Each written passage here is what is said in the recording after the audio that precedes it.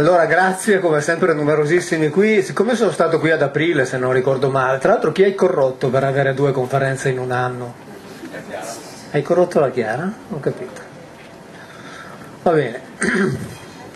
E allora oggi su Facebook ho scritto una cosa, ho detto stasera chiedo al pubblico cosa vogliamo fare, cioè se vogliamo fare una conferenza tutta di domande e risposte, che potrebbe essere un'idea, Oppure io ho mh, preparato tutta una serie di documentazione derivante da mh, eh, studi pubblicati da case editrici ebraiche dove ci sono tutta una serie di cose anche abbastanza interessanti per sviluppare argomenti, eccetera, trovare conferme, leggere altre cose, quindi per me è indifferente, cosa, cosa vogliamo fare? La seconda? 50 e 50? Va bene. Siamo tutti d'accordo? Ok. Facciamo una votazione in rete, democrazia diretta. Democrazia di rete, di retta. Va bene.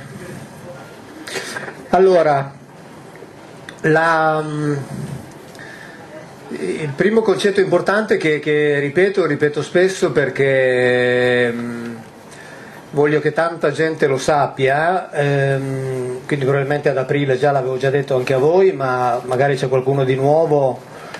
Ehm, c'è un eh, do, docente di, di, dell'Università di, di Napoli, il quale in una mail che è stata resa pubblica, la faccio breve, ha scritto che Biglino è un mentecatto eh, io la leggo la, pubblicamente nelle conferenze perché voglio che lo sappiano tante persone. Cioè nel senso che questa roba qui quando è stata pubblicata l'hanno vista 200-300 persone, adesso siamo già a diverse centinaia di migliaia perché l'ho messa in varie conferenze e continuerò a dirlo perché per me è fondamentale che si sappia che essendo io un mentecatto sono libero di dire quello che voglio perché ai mentecati è concesso tutto, come è noto, e quindi se è concesso tutto, io mi, mi piglio tutte le libertà possibili, immaginabili, e più mi piglio le libertà, più la gente si arrabbia.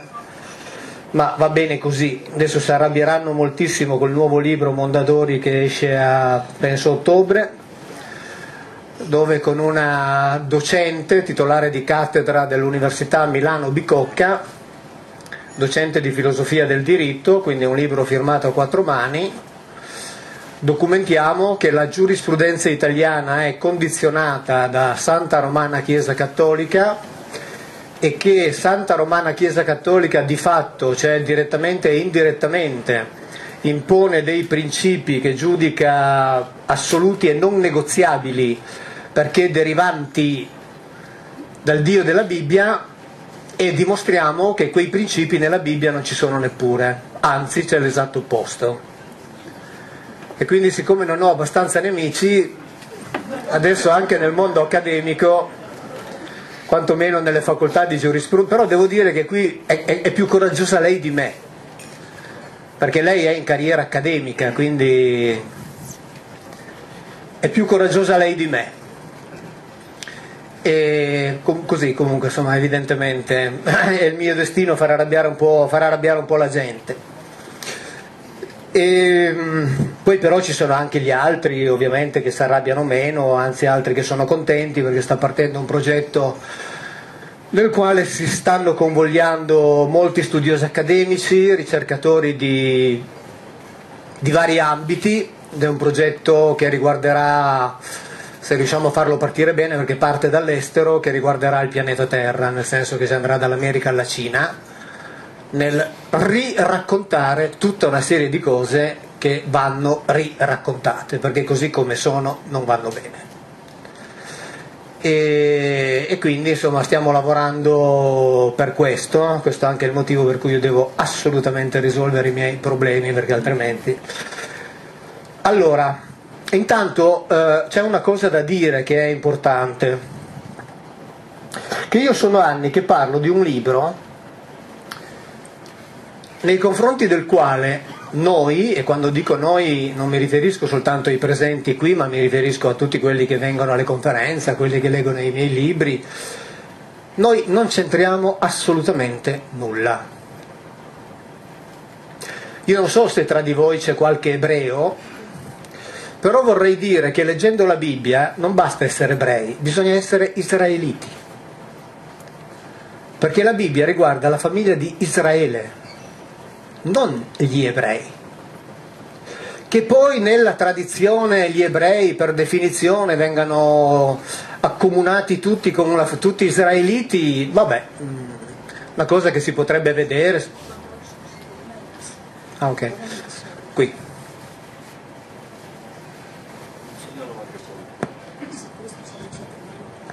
Ok?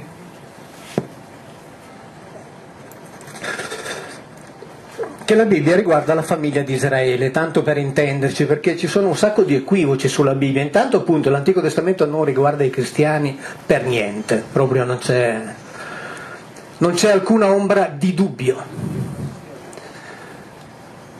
Perché da Sem, così almeno ce l'abbiamo sotto gli occhi e lo capiamo bene, si arriva figli, figlie, sapete, Sem è uno dei tre figli di, di Noè, se arriva uno che si chiama Ever, da cui derivano gli Ivrim, cioè gli ebrei. Figli e figlie, se arriva uno che si chiama Terach, che ha un figlio che si chiama Avramo, uno che si chiama Nacor, uno che si chiama Aran, Abramo ha un figlio che si chiama Isacco, che ha un figlio che si chiama Giac- che ha du- due figli, uno che si chiama Giacobbe e un fratello gemello che si chiama Esaù. Giacobbe poi assume il nome di Israele. Bene, la Bibbia inequivocabilmente racconta il patto tra un individuo di nome Yahweh, che poi è stato pretestuosamente trasformato in Dio, e Israele, cioè Giacobbe. Tutti questi qui sono tutti fuori dal patto, compreso Esaù, il fratello gemello di Giacobbe. Ma sono tutti ebrei. Tutti ebrei. Ma sono fuori dal patto. Tant'è che i discendenti di Esaù, gli Amalechiti, sapete qual era l'ordine? Sterminateli tutti. I Madianiti, discendenti diretti di Abramo attraverso la compagna Keturah, quindi figli diretti di Abramo, sterminateli tutti. I Moabiti, discendenti da Lot, figlio di Aran, Moabiti, sterminateli tutti. Ebrei che sterminavano altri ebrei per ordine di un non ebreo semiti che sterminavano altri semiti per ordine di un non semita. Siccome dico queste cose c'è chi cerca di farmi passare per antisemita, anzi adesso cercano di farmi passare anche per negazionista. Sapete che i negazionisti finiscono sotto processo, perché la Shoah è verità di legge in Italia e altri 16-17 paesi europei. E ovviamente farmi finire sotto processo significherebbe per certi aspetti bloccarmi, per altri aspetti farmi vendere 2 milioni di libri in 6 mesi. Quindi decidano loro. Io ci sto. Eh, però questa è la realtà. Qui non si tratta di essere filosemiti o antisemiti. Io racconto la Bibbia. Quindi, se raccontare queste cose significa essere antisemiti, la prima a essere antisemita è la Bibbia. Finito. Ci sono discussioni. Yahweh ha fatto il patto con Israele e basta. Questa roba qui è talmente chiara per gli stessi ebrei che se noi prendiamo questi qui sono testi di, diciamo, di analisi biblica pubblicati dagli ebrei e di teologia biblica pubblicati dagli ebrei, casa editrice Mamash, dove loro in assoluta tranquillità dicono L'intero libro della Genesi narra essenzialmente la vita dei patriarchi, è un resoconto della creazione della nazione ebraica, che poi subito dopo definiscono come Israele. Difatti, pagina 36, Genesi è chiamato anche libro della creazione. L'essenza della creazione non è la storia di monti e di valli, di oceani e di deserti e neppure di animali o di uomini. Essa è la storia della nascita di Israele, il popolo che ha ereditato il compito da Adam e Hawa. Punto. Cioè ne sono perfettamente consapevoli. La Torah, cioè i primi cinque libri dell'Antico Testamento, che sono il succo della Bibbia, è l'essenza dello sviluppo del popolo scelto da Dio e tutto ciò che è estraneo a esso è quindi semplicemente superfluo.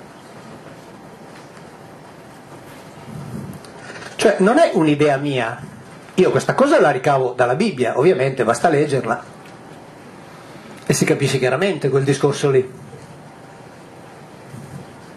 E il piano divino di questa creazione che riguarda questo popolo, pensate bene, è ovvio che il piano divino della creazione deve essere realizzato maggiormente dai commercianti e dai lavoratori, più che dagli studiosi. Altrimenti Dio avrebbe fatto sì che vi fossero al mondo più eruditi che commercianti.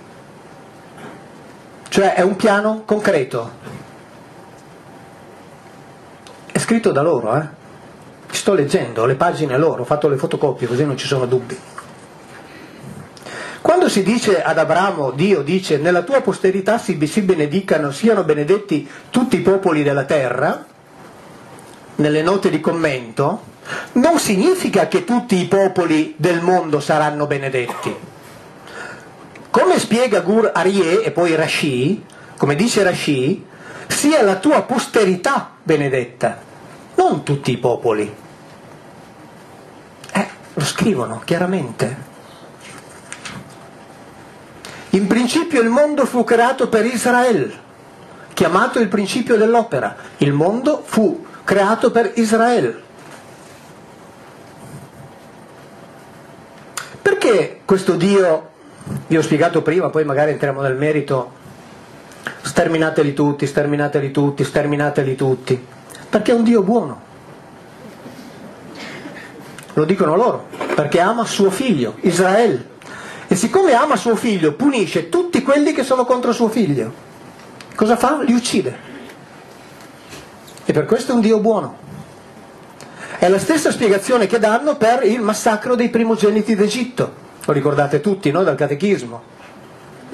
Quando il faraone non vuole far uscire i... gli ebrei, Yahweh dice indurirò il suo cuore cioè dice io indurisco il suo cuore in modo che non li faccia uscire, così poi posso dare prova mie, del mio potere. E cosa fa per dare, per dare prova del suo potere? Stermina i primogeniti d'Egitto, cioè stermina degli innocenti. E come è scritto nel Salmo 136, se volete lo leggiamo, li stermina perché lui è un Dio di amore, perché ama Israele. Finito noi dovremmo smettere di parlare di questo libro, smettere, lasciare che questo libro si occupino gli israeliti, perché è il libro loro. Noi dobbiamo uscirne definitivamente. È un libro che riguarda il patto che loro hanno con Yahweh. Se loro rispettano la loro parte del patto, lui prima o poi rispetterà la sua, finora non c'è ancora riuscito per certi aspetti. Ma noi dobbiamo uscirne. E invece ci siamo dentro. E ci siamo dentro perché questo libro governa più della metà del mondo, con le favole che ci hanno costruito sopra, ovviamente. Perché senza la costruzione di quelle favole non potrebbe governare della, più della metà del mondo perché riguarda loro. E basta. Oh, chiedo scusa. Però siamo qui a parlarne perché? Perché tutti i giorni ce ne parlano, perché noi viviamo soprattutto in una nazione, l'ho detto prima, che addirittura condiziona le leggi laiche. E condiziona le leggi laiche per fortuna poi che viviamo in uno Stato dove comunque quantomeno c'è l'idea della laicità, perché la, la, nella Bibbia non c'è distinzione tra laico e religioso, tant'è che l'Antico Testamento non è un libro di religione, è un libro che indica dei criteri di vita per un popolo e quei criteri di vita sono onnicomprensivi, come per l'Islam.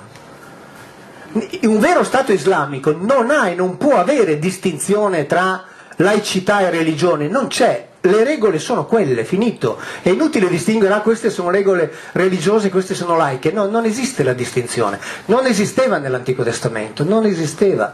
Erano 613 regole, non 10 comandamenti, 613 regole che andavano rispettate, punto alcune immediatamente comprensibili, altre persino una cosa curiosa, lo si legge in questi testi, poi magari andando avanti li troviamo pure, si dice ordini assolutamente incomprensibili, illogici, che però vanno rispettati perché lui ce l'ha dati, finito. Lo scrivono loro, eh? Scrivono loro. Ordini privi di logica, che però vanno rispettati. Va bene. Per fortuna, ripeto, noi arriviamo ad una distinzione, poi in realtà, vabbè, sappiamo, i condizionamenti sono quelli che sono, e poi addirittura si, si arriva a scrivere. Il motivo per il quale Hashem, Hashem è, significa il nome, siccome loro non possono pronunciare il nome Yahweh, quando c'è Yahweh tolgono Yahweh e scrivono o Adonai oppure Hashem, cioè il nome, perché non possono pronunciare quel nome. Il motivo per il quale Hashem non permise a Mosè diffondere la tradizione orale nel testo scritto della Torah fu che Hashem prevedeva che in futuro alcune nazioni avrebbero potuto avanzare la pretesa di essere loro quella prescelta da Hashem, i veri detentori della Torah. Ora, onde evitare questo rischio, gli ha dato una Torah, cioè delle leggi orali, senza trascriverle in modo che rimanessero al loro interno. Cioè voglio dire, più esclusivisti di così non si può essere. Non si può essere. Più chiari di così non si può essere. Quindi noi non c'entriamo niente. Noi stiamo parlando di un qualcosa nel quale purtroppo siamo stati chiamati poi a, a, a centrare, nel senso che, voglio dire, da quando nasciamo ci mettono dentro questo recinto, uno dei tanti, uno dei tanti recinti e ci dicono siccome tu sei nato qui, tu sei italiano, hai questa lingua, hai questa storia, hai questa tradizione, hai questi valori, hai questa religione. Io sono nato diciamo vicino alla Francia, se fossi nato qualche chilometro più in là mi avrebbero messo un'altra etichetta dicendo tu sei francese, hai questa lingua, hai queste, ma io sono sempre io, il mio DNA è sempre uguale. A seconda del posto in cui nasciamo ci viene messo un, come le mucche, un marchio giallo, verde, eccetera. E se io nasco a Cipro nella parte greca mi viene detto tu sei greco, hai questo nome, questa lingua, queste tradizioni, questa religione. Se nasco nella parte turca mi viene detto tu sei turco, hai questo nome, questa lingua, questi usi, questi costumi e questa religione. E un giorno dovrai combattere magari contro quello che sta 5 metri più in là. Se io nasco 5 metri di qua o 5 metri di là divento completamente diverso, ma io sono sempre uguale. Da quel momento comincia l'ammaestramento. Se nasco qui vengo ammaestrato ai valori greci, se nasco qui vengo ammaestrato ai valori turchi. Questo è l'ammaestramento, come si fa con tutte le bestie. E noi siamo così. E l'ammaestramento è talmente ben fatto che noi siamo convinti di essere italiani. Perché ci hanno convinto di essere italiani. E noi siamo convinti che la nostra religione sia quella giusta, perché nel mondo ci sono migliaia di religioni, migliaia, più di 4.000 mi pare, un po' più di 200 quelle più importanti, e ognuno è certo che la sua è quella giusta. Perché da quando nasci ti ammaestrano così. E tu vieni fuori ammaestrato così. E quindi arrivi a morire per quella religione che ti hanno detto essere giusta.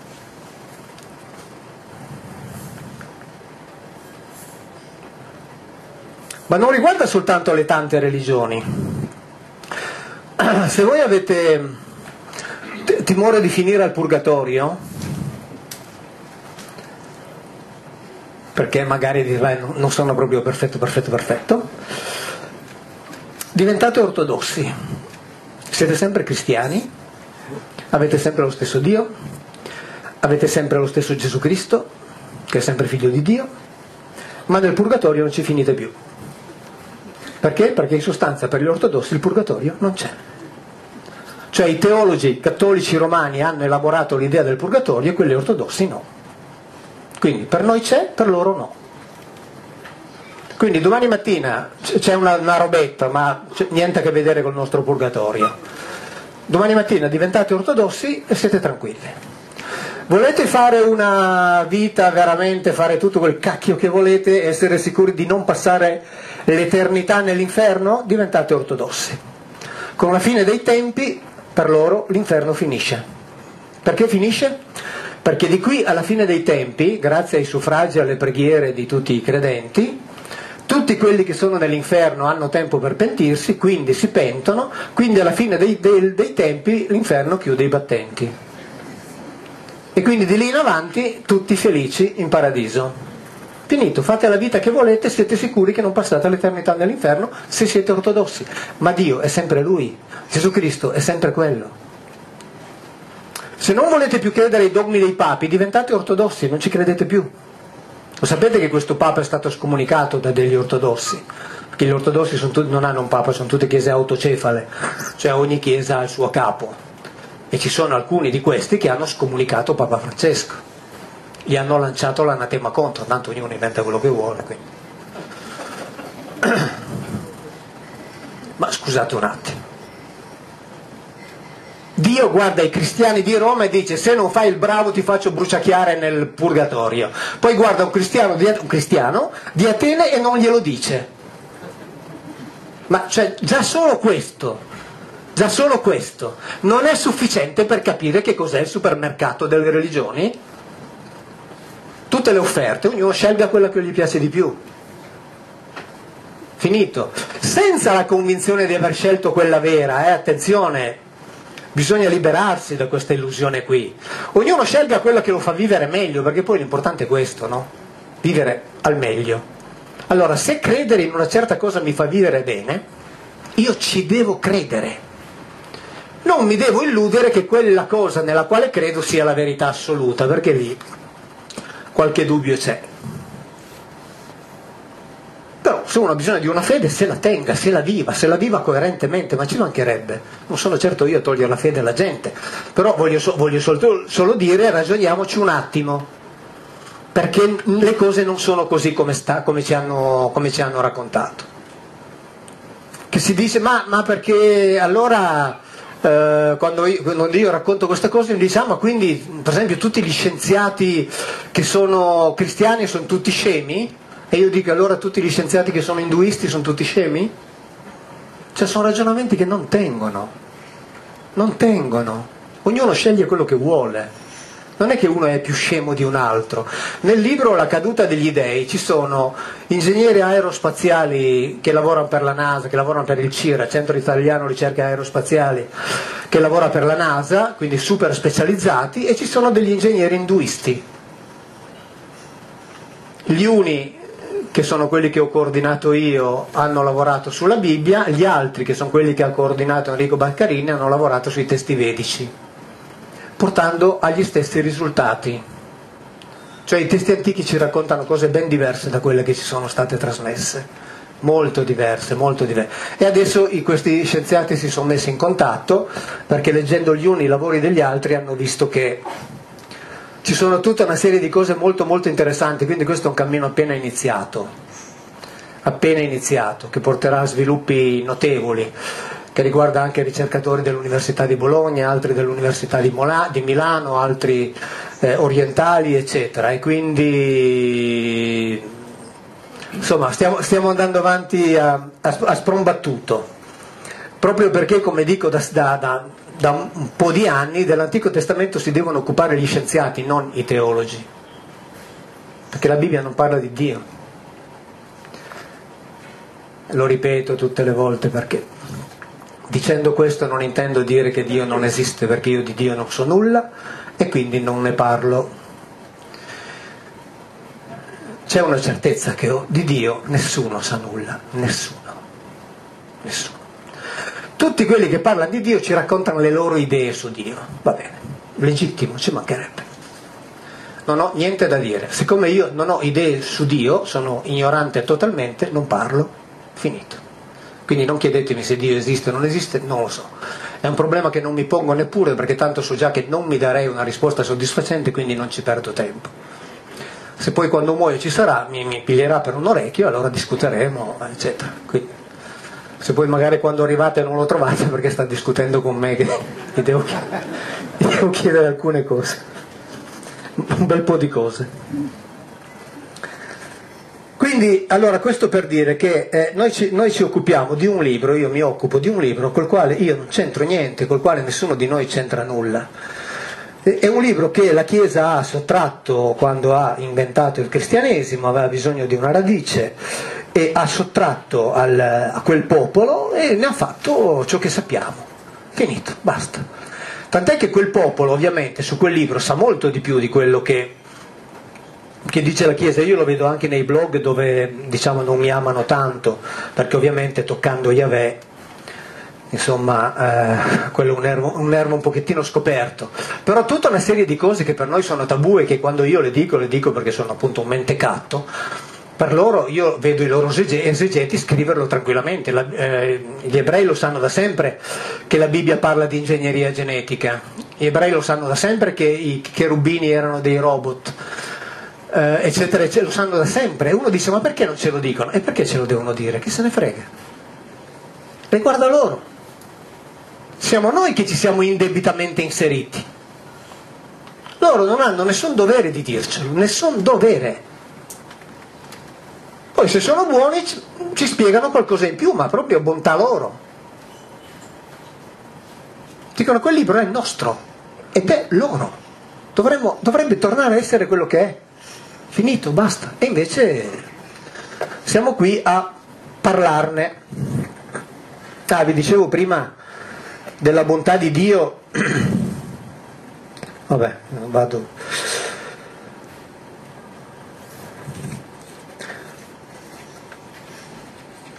Adesso tra l'altro a proposito di, di, di molto, mi vengono in mente le cose, a proposito di religioni, proprio nella mia regione, in Piemonte, a Torino, eh, da un po' di tempo fanno delle messe interconfessionali, cioè quindi mettono assieme varie correnti religiose e fanno le messe tutte assieme, quindi protestanti, ortodossi, cattolici, eccetera. E per esempio, dicendo mai in fondo quello che conta è essere cristiani con questo bel buonismo. Io vorrei vedere, allora dire benissimo, allora facciamo così, siccome quel che conta è essere cristiani, adesso tutti noi cristiani cattolici diventiamo ortodossi, vorrei vedere se sono contenti.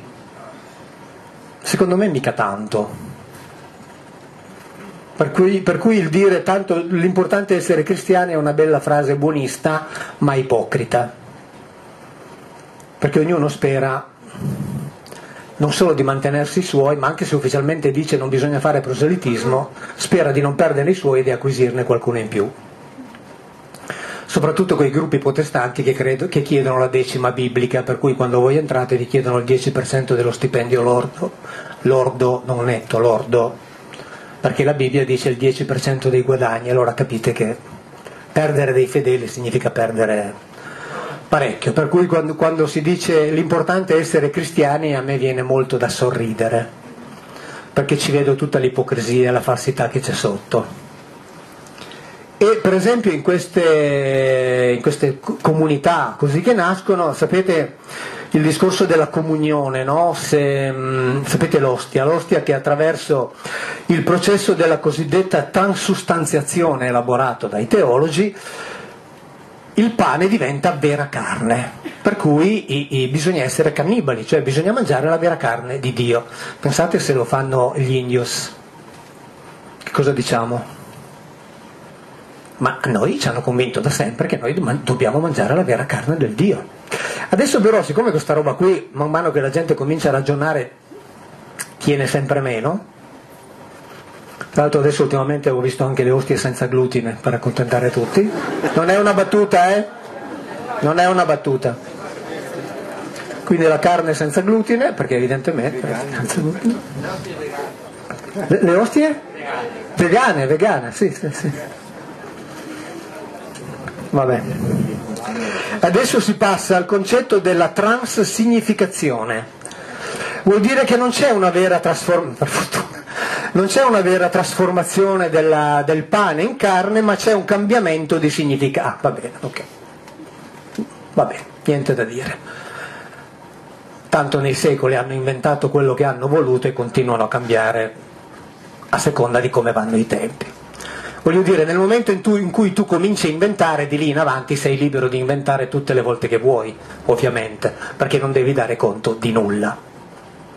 E anche perché nessuno ti chiede conto di nulla. Perché io lo vedo, per fortuna, nei miei confronti, mi si chiede conto di ogni virgola. Di ogni virgola. Nelle cose che vengono dette dagli altri passa tutto che è una meraviglia ma che è una meraviglia, perché? Perché siccome lo dice lui, lo dice il prete, lo dice il vescovo, lo dice il cardinale, lo dice il teologo, lo dice il Papa, e il Papa dice che l'amore di Dio è eterno, e la Bibbia lo dice. Salmo 136 lo dice un sacco di volte. Egli colpì l'Egitto nei suoi primogeniti perché è eterno il suo amore. Fece uscire Israele in mezzo a loro perché eterno è il suo amore. Divise il mare in parti perché eterno è il suo amore. Travolse il faraone e il suo esercito nel mare perché eterno è il suo amore. Uccise re potenti perché eterno è il suo amore. Tutto l'elenco. Diede la loro terra in eredità perché eterno è il suo amore. In eredità a Israele suo servo perché eterno è il suo amore. Il suo amore è eterno perché uccide i nemici di Israele, gli toglie i beni e li dà a Israele. Questa qui è la Bibbia di famiglia cristiana, non sono le mie traduzioni. Eh? Leggetela, leggetela lentamente con un po' di attenzione e non c'è più bisogno neanche di venire alla mia conferenza, perché tanto la capite tutti. È per questo che si dice, ah Biglino tu non devi fare la lettura letterale perché è la lettura degli ignoranti. Va bene, io dichiaro che la mia è la lettura degli ignoranti. Una volta che l'ho dichiarato sono libero di farla, perché il rapporto è chiaro. Se siete qui è perché altrimenti potete alzarvi tutti e uscire, non c'è problema, ve lo dico veramente. Io vi dichiaro che faccio la lettura, la lettura degli ignoranti. Basta, stop. Una volta che voi lo sapete, io sono onest, eh, intellettualmente onesto nei vostri confronti. Io vi dico anche che io faccio finta che ciò che c'è scritto qui sia vero, perché non so se è vero ciò che c'è scritto qui. Il discorso è che tutti fanno finta, tutti, tutti, primi fra tutti i teologi, che fanno finta che la Bibbia parli di Dio, la realtà è che loro fanno finta, ma dicono che quella è la verità. Io invece vi dico faccio finta e non so se è la verità, perché non lo so, perché non sappiamo niente di questo libro qui, neppure chi l'ha scritto, neppure uno di questi versetti sappiamo chi l'ha scritto. La tradizione ha inventato un sacco di balle che la Torah l'ha scritta a Mosè, ma, ma, non esiste. Lo sanno tutti gli studiosi che non esiste che la Torah l'ha scritta a Mosè. Al tempo di Mosè non c'era neppure l'ebraico. Lo sanno tutti che non l'ha scritta Mosè, lo sanno tutti che è stata scritta secoli dopo la morte di Mosè. Scritta e riscritta e riscritta e riscritta. Lo sanno tutti che la Bibbia in ebraico che abbiamo noi oggi non è quella scritta in origine. Lo sanno tutti. Però fanno finta che lì ci sia la verità, fanno finta che quello sia il libro ispirato da Dio. Io tra, tra, sabato sono a Stoccarda a fare una conferenza lì in Germania e ho chiesto di procurarmi due Bibbie, una dell'anno scorso e una di quest'anno. Perché? Perché finalmente la conferenza episcopale tedesca, cattolica, ha finalmente tolto una delle colossali falsità che esistono nella Bibbia. Tutti avete sentito la profezia del capitolo 7 di Isaia, la Vergine concepirà e partorirà un figlio e gli sarà dato nome Emanuele. Io che faccio la lettura letterale degli ignoranti, nelle conferenze, in tutti questi anni, ho sempre detto, guardate che nell'Antico Testamento profezie che riguardano Gesù Cristo non ci sono. E ho anche sempre detto, quelle presunte profezie voi fatevele spiegare da un ebreo e da un teologo cristiano in genere, che sia cattolico protestante poco cambia. E avrete due spiegazioni completamente diverse. L'ebreo ha ragione. Adesso finalmente la conferenza episcopale tedesca ha preso atto del fatto che quella profezia nella Bibbia ebraica non c'è. Perché non c'è scritto la Vergine concepirà, c'è scritto che una giovane fanciulla è già incinta nel momento in cui hanno scritto quel versetto lì.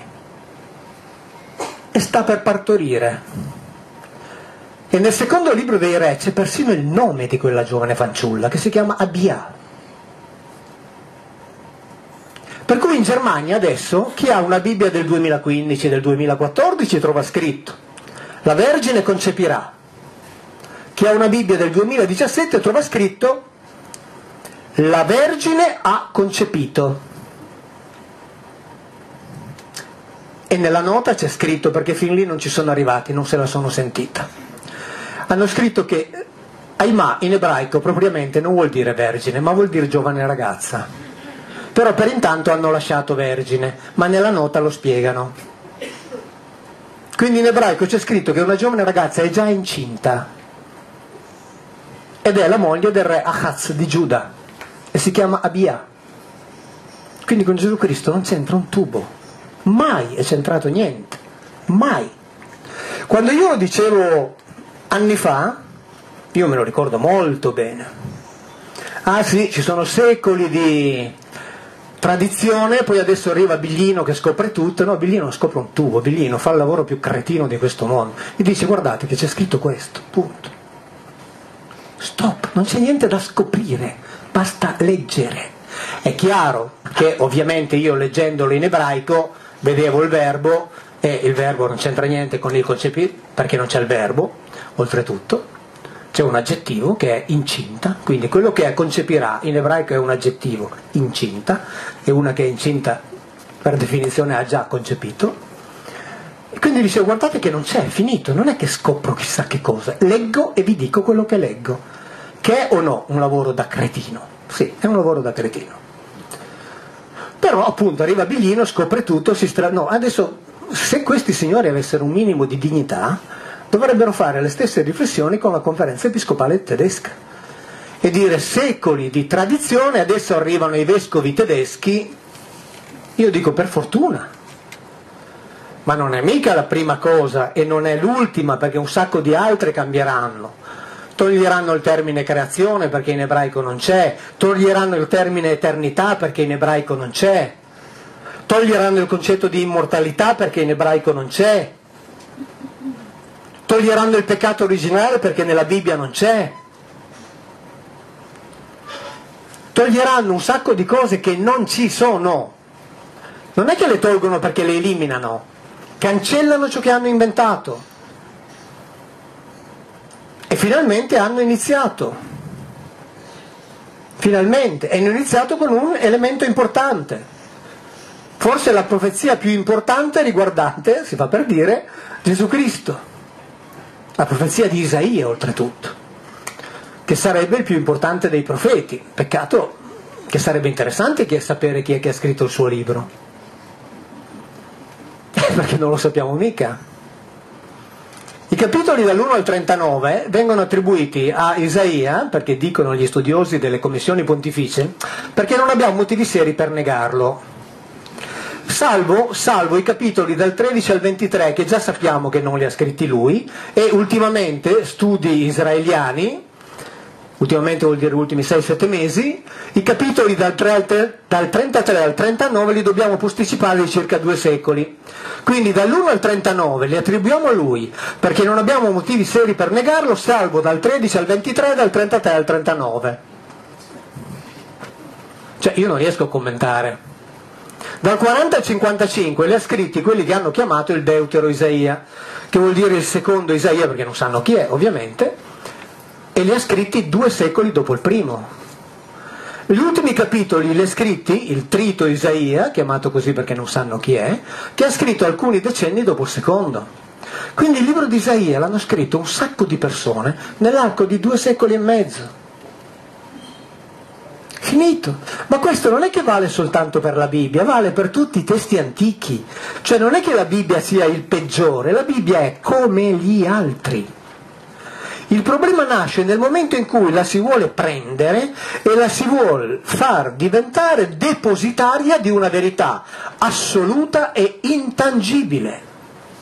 Lì nasce il problema. Nel momento in cui la esaminiamo come qualsiasi altro libro, diventa un libro dignitoso come tutti gli altri. Non il libro di favole che ci è stato raccontato, favole teologiche naturalmente, che ci è stato raccontato.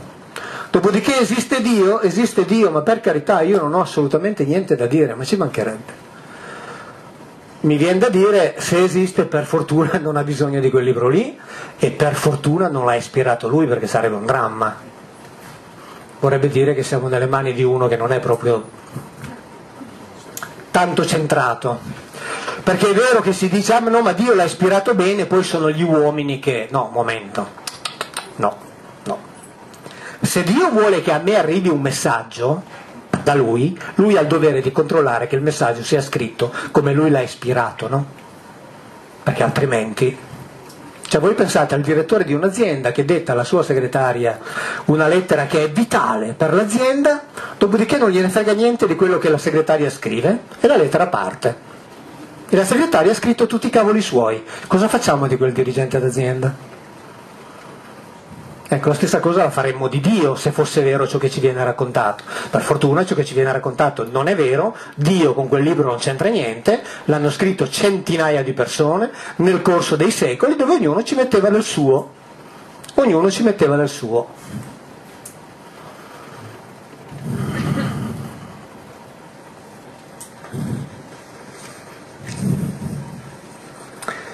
Il discorso per esempio della creazione dell'uomo, vi leggo alcune curiosità.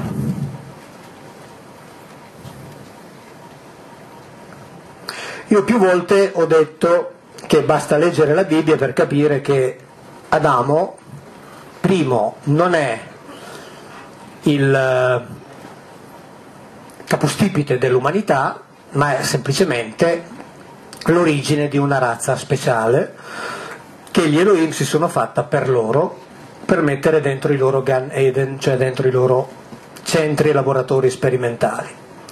Poi se abbiamo tempo vediamo cosa dicono alcuni scienziati ufficiali. Tant'è che la Bibbia dice che Dio, Dio uso il termine così almeno ci capiamo, l'Elohim prese l'Adam e lo pose in Gan Eden. Prese e lo pose, il che significa che non lo fece lì poi passa e lo mette lì perché dice la Bibbia custodisca e lavori quel territorio, cioè quel giardino recintato e protetto posto in Eden, che è un territorio vastissimo che si trova, diciamo così, nella più o meno attuale Azerbaigian, a est della Turchia, tra il Mar Caspio e la Turchia. E quindi l'hanno messo lì. E io questa cosa qui la dico da tempo siamo sempre in quei libri lì. Secondo Rabbi Sadia Gaon l'uomo fu creato fuori dal giardino. Ma è evidente, per fortuna che lo dicono anche al di là di questo. E quando viene fatta Eva, lo trovate nei miei libri, si dice che presero una costola e io ho sempre detto che Zelà non significa costola, ma significa parte laterale ricurva. Nelle note di questa pubblicazione, Zelà ha il significato in lato, fianco. Secondo il Midrash non si tratta di una costola, ma di uno dei lati dell'uomo. Lo scrivono tranquillamente. Mazzelà significa quello, significa parte laterale ricurva. E qui non è un'invenzione mia, ma non è un'invenzione mia perché è nei dizionari. La cosa bella è che Dio onnisciente, onnipotente, prende l'Adam, lo mette nel cosiddetto paradiso terrestre e dopo un bel po' di tempo si accorge che per lui la compagnia degli animali non è sufficiente. mette del tempo eh? a capirlo, il Dio onnisciente che prevede il futuro. E allora decide di fargli la femmina. E per fargli la femmina preleva questa zela, cioè questa parte laterale, un qualcosa da una parte laterale ricurva, letteralmente. E cosa succedeva prima? Cioè, com'è che Dio si è accorto che la compagnia degli animali non era sufficiente? Quando io l'ho messo nel fumetto, vi giuro, me ne hanno dette di tutti i colori, di tutti, dicono comunque, non è un problema. Nella nota, nella Parashah Bereshit, c'è scritto Adam aveva avuto dei rapporti con tutti gli animali, ma non era rimasto soddisfatto finché non si era unito a Hawa, e lo dice Rashi, il più importante commentatore ebreo di tutti i tempi. Benché ad Adam fosse proibito avere rapporti con animali, Divrei David, basato sulla Gemara Shanedrin, sostiene che tale proibizione non fu vincolante fino alla creazione di Hawa se io lo metto nel fumetto sono il satanista. Lo scrivono loro, lo sanno da sempre. E qui lo sanno da sempre. Per me è chiaro dalla Bibbia, perché io di quella mi occupo. Tant'è che quando gliela presentano, allora, Bibbia di famiglia cristiana, il Signore di... Ah, una cosa, facciamo un patto. Se io vi do delle mie traduzioni, per cortesia fermatemi, perché non vi voglio dare delle mie traduzioni, va bene? Così siamo tutti tranquilli. Il Signore Dio, in ebraico Yahweh Elohim, dalla costola che aveva tolto all'uomo formò una donna. Formò è giusto. Perché lì c'è il verbo yazzar. Cioè in ebraico non solo non c'è il verbo che indica creare dal nulla, perché barà non significa creare dal nulla, ma qui non si usa neppure quel verbo, c'è yazzar che vuol dire proprio formare, come formare un mattone con l'argilla. Ok? Quindi l'ha fabbricata. Poi la condusse all'Adam. Allora l'Adam disse, io una settimana che vado a cena da Antonella e le dico, Antonella senti questa volta la pasta è, cotta al punto giusto. Cosa vuol dire? Che tutta la settimana che mi dai schifezza, no? Ah, ok. Poi la condusse all'uomo, alla dama, allora la disse, questa volta è osso delle mie ossa e carne della mia carne, questa volta, non le altre. Gli ebrei che traducono questa frase in, uh, in inglese, per le Bibbie inglesi, traducono finalmente. Capite cosa vuol dire? Finalmente me ne avete fatta una giusta. Mi immagino Dio che dice che culo, questa gli è piaciuta, per fortuna. Questa volta è osso delle mie ossa, guardate che questa frase qui è stupenda, è stupenda, perché dice tutto dice tutto. Dice tutto, soprattutto se è inserita nel contesto biblico dove si capisce tutto.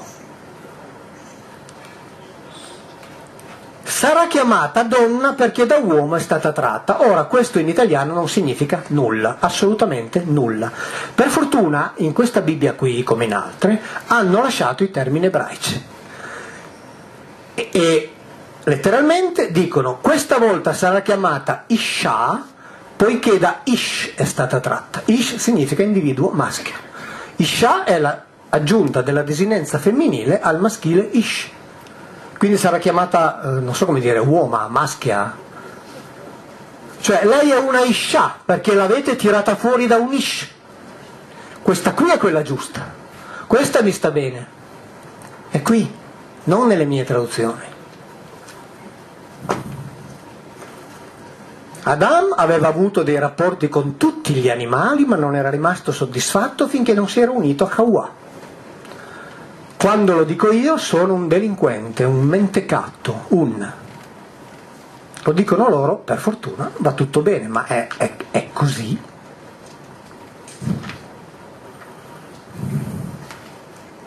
E quando si, si parla appunto della cosiddetta disubbidienza, si dice quindi Dio ha condannato l'uomo alla morte per effetto del peccato originale.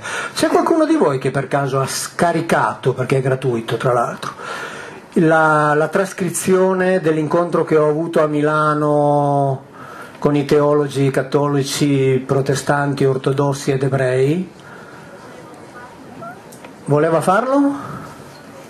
Non c'è riuscita, strano che è un libro di 123 pagine, gratis, lo trovate sul sito di un editore, è scaricato. Ecco, lì, lì, lì, leggete tranquillamente come il teologo cattolico è uno dei massimi biblisti italiani, il pastore valdese Garrone, che firma i dizionari di ebraico e aramaico biblico, dicono tutti e due in assoluta tranquillità, il peccato originale nella Bibbia non esiste. E io vi giuro che quando al tavolo, lì di fronte a 600 persone, gliel'ho sentito dire, mi chiedevo ma che cosa ci sto a fare io qui? Quindi il peccato originale è quello che ha portato alla morte, perché Adamo prima era immortale. Questa qui, altra invenzione teologica. La morte in realtà non era una maledizione, ma normale conseguenza della natura dell'uomo. Poiché egli proveniva dalla terra, è naturale che il tempo, l'età e il deterioramento lo, lo conducessero alla morte.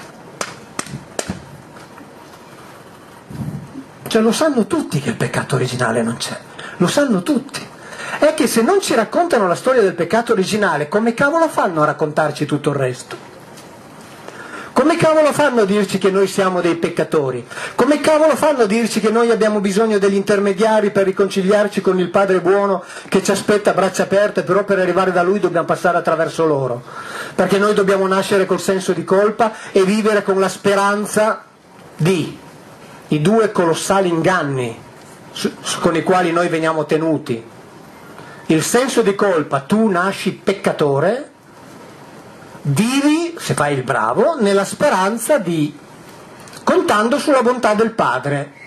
E la bontà del Padre, ci pensiamo noi, passa attraverso di noi, fai le cose che ti diciamo.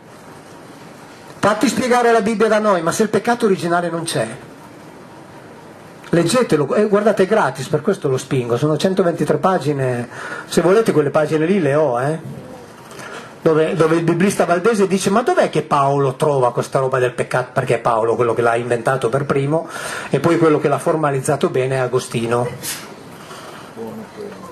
il padre della Chiesa. Qualcuno, mi, qualcuno dice ma perché quando si parla, parla di Agostino poi Biglino smette? Perché non voglio essere offensivo. Per questo smetto, perché non voglio essere offensivo.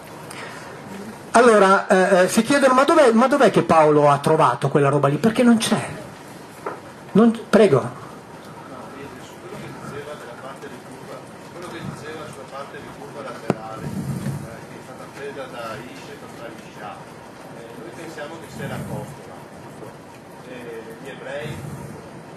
Allora, c'è, eh, questo è di un anno e mezzo fa, uno studioso ebreo di una università nordamericana che ha detto che è stato preso dal pene. È stato, è stato, preso dal pene di Adamo. Quindi il problema non è stabilire se, se, Eva è stata creata o no, è soltanto stabilire da che parte del corpo stato, sono state prese le cellule per farla.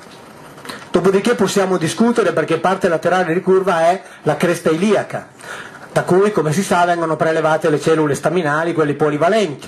Tra l'altro, ecco, questo ve lo dico in più, quindi eh, in più rispetto a quello che vi ho detto prima non mi voglio dare mie traduzioni, ma la radice ebraica zelà è collegata all'idea dello zoppicare cioè è una parte laterale eccentrica e la radice verbale indica l'atto dello zoppicare. Quindi uno, come dice la Bibbia, che ha subito un intervento chirurgico, perché di questo parla la Bibbia, prese una parte dalla parte laterale ricurva, chiuse la carne là dove aveva fatto il prelievo e con ciò che ha prelevato fa la femmina, quindi la Bibbia è chiarissima, chiude la carne. Ora uno che ha avuto un'operazione alla cresta iliaca per un po' zoppica, quindi tra l'altro è pure coerente. Ehm, invece c'è appunto questo docente rabbino che dice l'ha preso dal pene. Cioè per me va bene. Cioè... La Torah parla di parte laterale ricurva, non eh, se l'ha. Quindi non c'è questo peccato originale e quindi la morte non è effetto di questa punizione, lo dicono lì, ovvio, erano, erano materiali e morivano, chiaro no? Nel 1854 Pio IX proclama il dogma della Immacolata Concezione, che è un dogma che dice che la Madonna è l'unico essere umano a essere nato senza la macchia del peccato originale. Perché? Perché nel concilio di Efeso l'hanno dichiarata Teotokos, cioè madre di Dio, e quindi è chiaro che la madre di Dio non può nascere con la macchia del peccato originale. Ma se il peccato originale non c'è, quel dogma lì, che cosa dogmatizza? Il niente. Ho avuto la fortuna o la sfortuna perché dopo che ho conosciuto i suoi libri di eh, essere presente, sa quando si trattiene una bambina, si fa un paio di serate di incontri purtroppo un po' mi criticava il discorso del peccato originale, perché si basa, eh, cioè è per quello che si fa il battesimo dalla bambina, per liberarla insomma da questa macchia. A un certo punto io detto, io la, la Bibbia parlo, l'avrei anche letta, ma è veramente un libro un po' pesante. Il parroco mi fa non leggere l'Antico Testamento se non perdi la fede. Quindi, cioè, come per dire, c'è, consapevolezza anche ai bassi livelli. E allora là ho detto, ah, il problema è che mia mamma insegna catechismo, dovevo esserci. È così. È così. È che senza l'Antico Testamento come fanno a giustificare Gesù Cristo?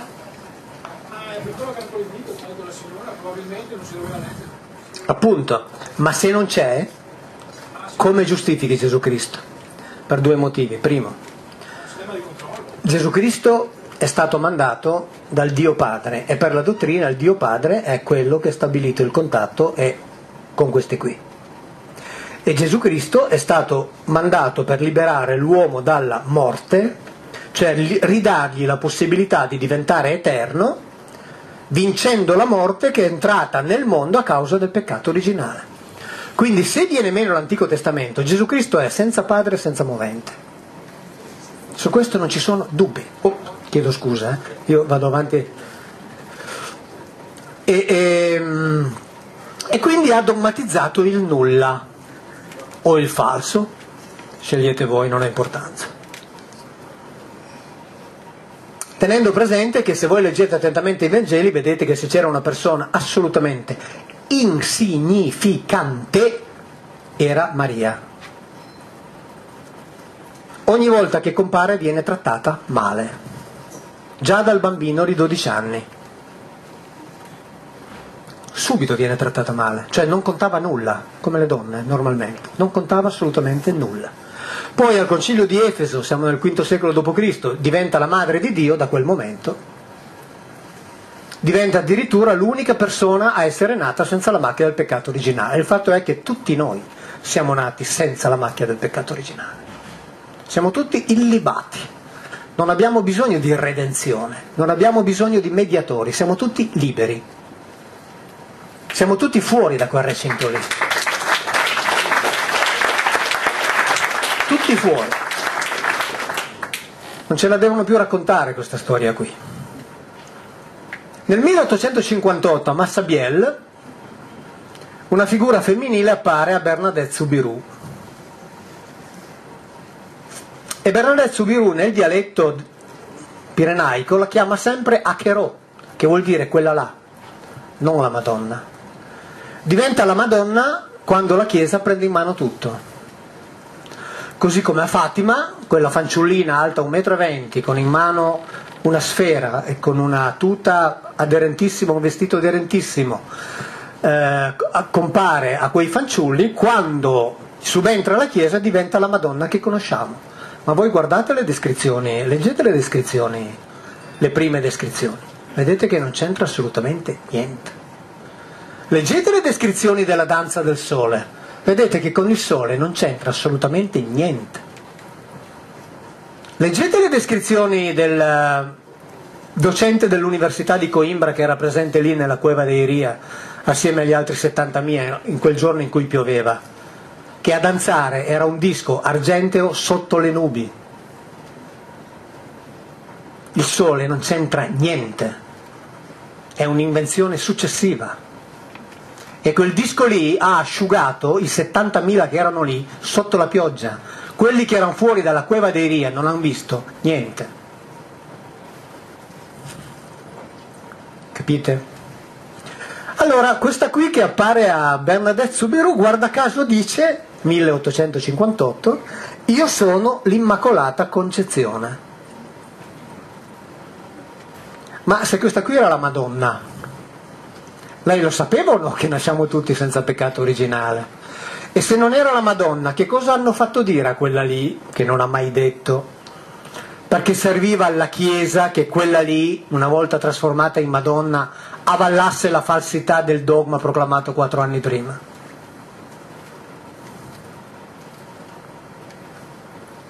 Perché se il peccato originale non c'è, non c'è, finito, non c'è. Ma è scritto persino, c'è qualcuno che ha la, la Bibbia di Gerusalemme, vero? Ditemi di sì perché me l'ha detto prima. Cioè non è che lancia il sasso e poi... È qua, è qua. Ah, è là, ok. Che edizione ha?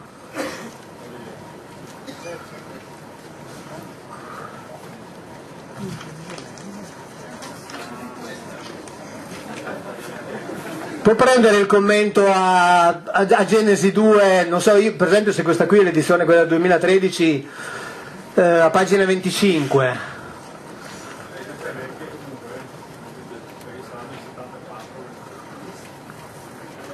Allora, comunque lo trovate, lo trovate, io ve la leggo. Quando c'è l'allontanamento di Adamo ed Eva, dice non si tratta di un castigo per l'uomo a motivo di una colpa già commessa, ma di una misura preventiva. E se voi leggete la Bibbia, la Bibbia lo capite chiaramente. Quando Eva fa quella roba lì che non doveva fare, cioè si unisce sessualmente con uno degli Elohim e secondo letteratura ebraica extrabiblica subisce una violenza sessuale e da questa violenza sessuale nasce Caino, che quindi è figlio di Eva e di uno di loro, questi vengono allontanati perché gli Elohim dicono adesso l'Adam, ed è tradotto così anche nelle Bibbie che avete in casa, è diventato come uno di noi. Leggete le Bibbie che avete in casa, è scritto così, perché hanno rispettato la traduzione. È diventato come uno di noi. Adesso che non abbia accesso all'albero della vita, cioè a quelle pratiche lì, e quindi fuori, perché è una misura preventiva Bibbia di Gerusalemme, perché altrimenti l'Adam sarebbe diventato talmente pericoloso per gli Elohim da essere ingestibile. E poi non bisogna cercare qui tutto ciò che vi è stato letto in seguito, sia che si tratti di riletture bibliche, per esempio quella di Paolo che in Romani 5 inventa il peccato originale, o delle formulazioni dogmatiche della Chiesa. Non bisogna cercarle qui perché non ci sono. Lo scrivono addirittura. Perché lo scrivono? Perché la Bibbia di Gerusalemme, che tiene le traduzioni della conferenza episcopale italiana, è commentata dai domenicani della École d'études di Gerusalemme, che è una delle scuole esegetiche più antiche e più importanti, è della metà dell'Ottocento. E siccome loro queste cose le sanno, pur mantenendo la traduzione, poi loro lo dicono che le sanno, perché non è che ci vogliono fare la figura dei... per cui ce lo spiegano è che noi altro che leggere le note, noi non leggiamo neanche la Bibbia, no? Dico bene? Faccio o no un lavoro da cretino? Ho visto solo leggendo le cose che hanno scritto gli altri.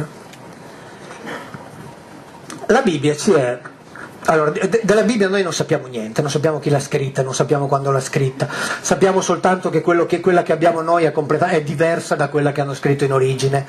Questo lo sanno tutti, lo sanno tutti, ve lo dico, lo sanno tutti gli studiosi, non è un'invenzione di Biglino. Lo scrivono i biblisti israeliani, eccetera, eccetera, eccetera.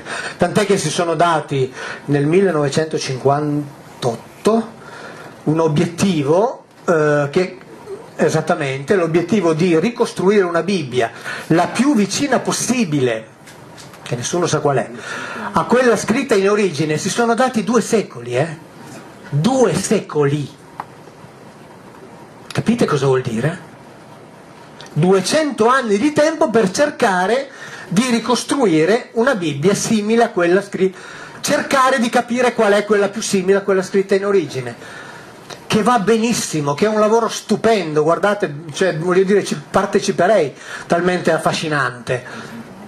Però nel momento in cui facciamo questo, lasciamo perdere l'affermazione quel libro contiene la verità, perché non la possiamo più fare, tutto lì. Perché è normale buon senso. Se non so neanche com'era, come faccio a dire che c'è la verità? Ma è o non è buon senso? Non c'è bisogno di essere dei sapienti per capire queste robe qui. No? Cioè, se devo metterci due secoli per cercare di capire cosa c'era veramente in un libro, come faccio a dire che in quel libro c'è la verità? Ma se lo dicessi io mi seppelliscono in due minuti. Ma se lo dicono i sapienti va bene così. Allora, questa storia del, del um, peccato originale è l'inizio del problema. Nel senso che se non c'è il peccato originale, Gesù Cristo cosa è venuto a fare? Dal punto di vista cristiano. Perché dal punto di vista ebraico potrebbe essere venuto a fare qualcosa. Cioè a cercare di ricoprire la figura del Mashiach ebreo. Cioè quello che doveva liberare il popolo di Israele. Siamo di nuovo lì. Io sono venuto per le pecorelle di Israele e dice voi predicate nelle case, nelle case di Israele, dice ai suoi, sempre Israele, sempre Israele, per liberarlo dal gioco straniero, perché questo era il compito del Messia ebreo. Il Messia cristiano è una invenzione, diciamo appunto, è una invenzione cristiana. Il Messia ebreo aveva dei significati e lui e il cugino, Giovanni Battista, avevano probabilmente questo compito che da quel punto di vista lì è fallito. Ovviamente eh, Giovanni Battista è stato decapitato, lui crocifisso, vabbè, tirato giù vivo dalla croce, hanno fatto in modo che non morisse, diciamo almeno la vita lì gliel'hanno salvata, però il progetto politico è miseramente fallito. Lui ha cercato di coinvolgere il popolo ma non ce l'ha fatta, perché il popolo non gli è andato dietro, perché il popolo amava un pochettino di più la tranquillità e lui, come tutti gli altri zeloti, creava dei casini, i casini creavano le repressioni romane, eccetera, eccetera, eccetera, e quindi è finita più o meno come, o meno come sappiamo eh, senza ovviamente il discorso della resurrezione. Se voi leggete le ultime edizioni della nuova enciclopedia cattolica pubblicata negli Stati Uniti, loro scrivono tranquillamente, ce l'ho lì, se, se volete ve lo cerco, eh, scrivono tranquillamente che l'unico dato storico è che Gesù Cristo è stato processato e condannato per sedizione questo è l'unico dato storico su cui si può fare ricerca. Il discorso della resurrezione è un discorso di fede su cui non si può fare nessuna ricerca storica. Nuova enciclopedia cattolica, ma questa è la realtà. E man mano queste cose qui ce le diranno sempre di più, sempre di più, perché ovviamente aumenta sempre di più la possibilità di diffondere la, la comunicazione e quindi aumenta sempre di più la gente che legge, aumenta sempre di più la gente che riflette, quindi queste cose qui che 30 anni fa potevano essere raccontate in assoluta tranquillità, adesso non le possono più raccontare così, assolutamente. Quando ci viene raccontato che dopo la presunta resurrezione gli undici erano, Vangelo di Giovanni, gli undici erano riuniti, uno dice beh erano undici perché mancava Giuda, no, Giovanni ci dice che erano undici perché mancava Tommaso, detto Didimo.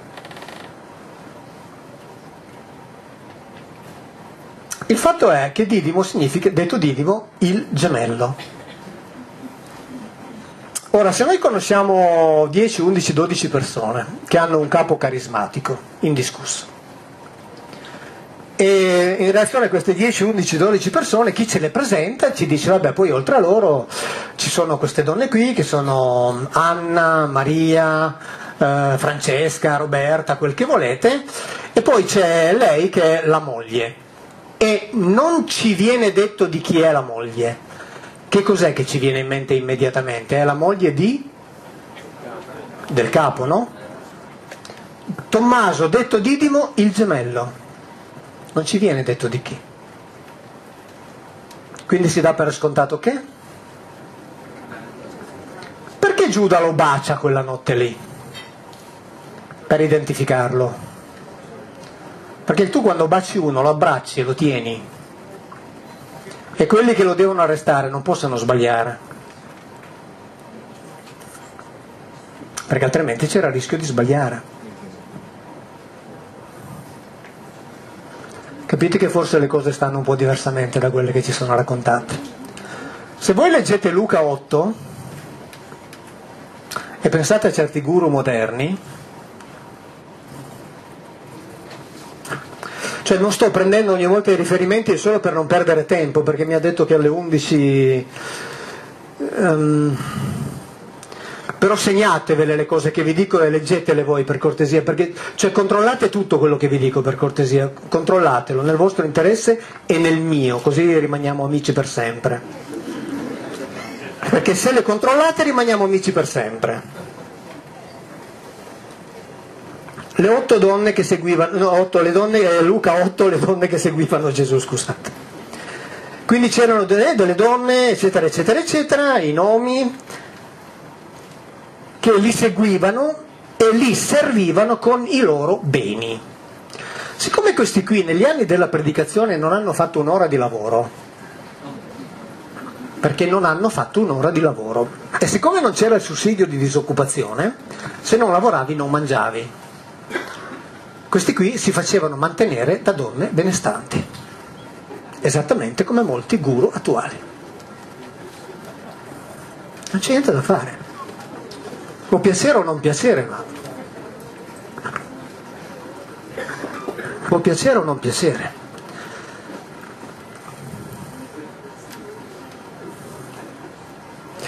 Quando, quando è l'ultima volta che siete andati a messa? No, no, non lo voglio sapere, eh, ditelo a voi. E il prete vi ha detto allora sta settimana avete venduto tutti i beni che avete e li avete dati ai poveri? Quando è l'ultima volta? Mai. Mai.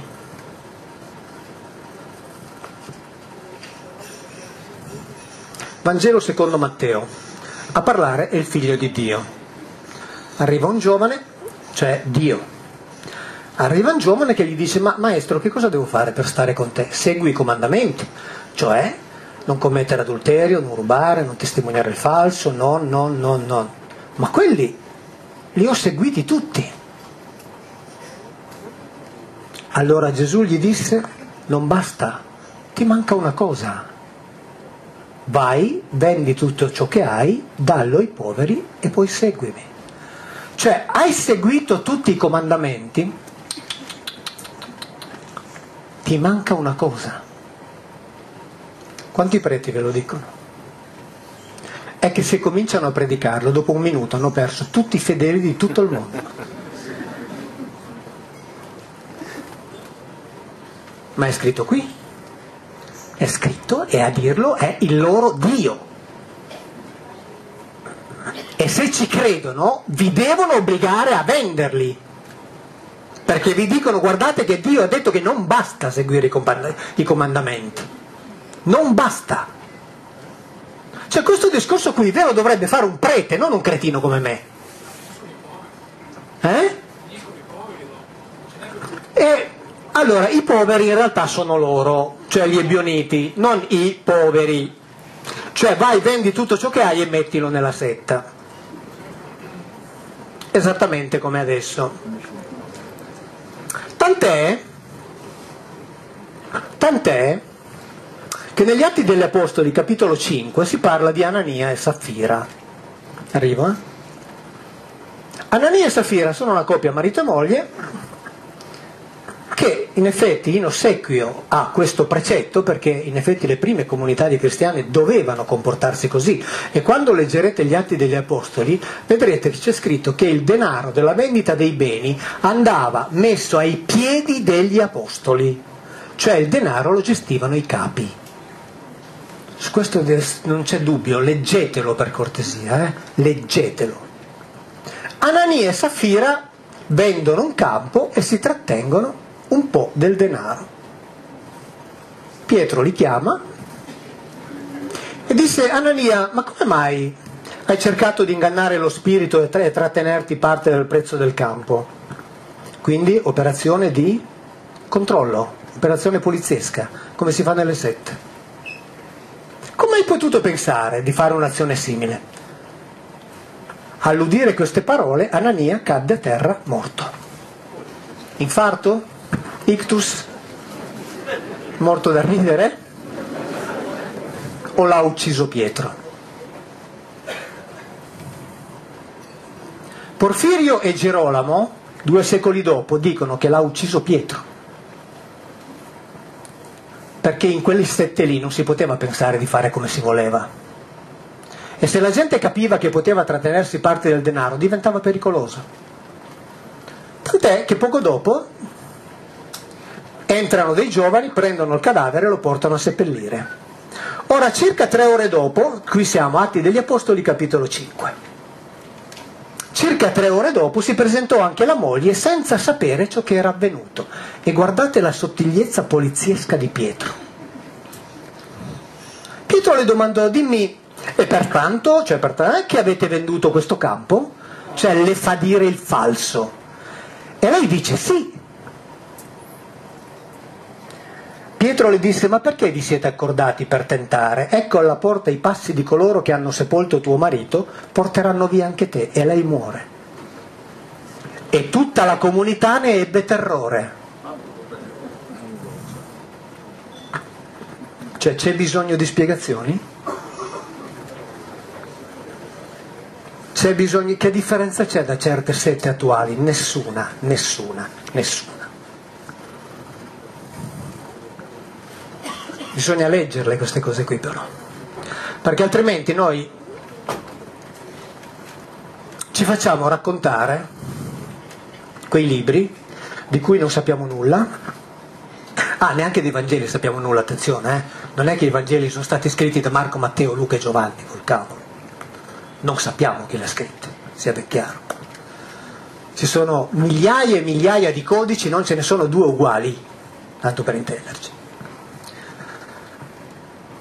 Noi ci facciamo raccontare, parlando della Bibbia ebraica, quel libro da papi, cardinali, vescovi, teologi, preti, catechisti che nel facciamo i buoni 90% dei casi non conoscono la lingua nella quale è stato scritto quindi predicano sulla base di traduzioni che gli altri gli forniscono quindi in Germania vi ricordate l'esempio iniziale?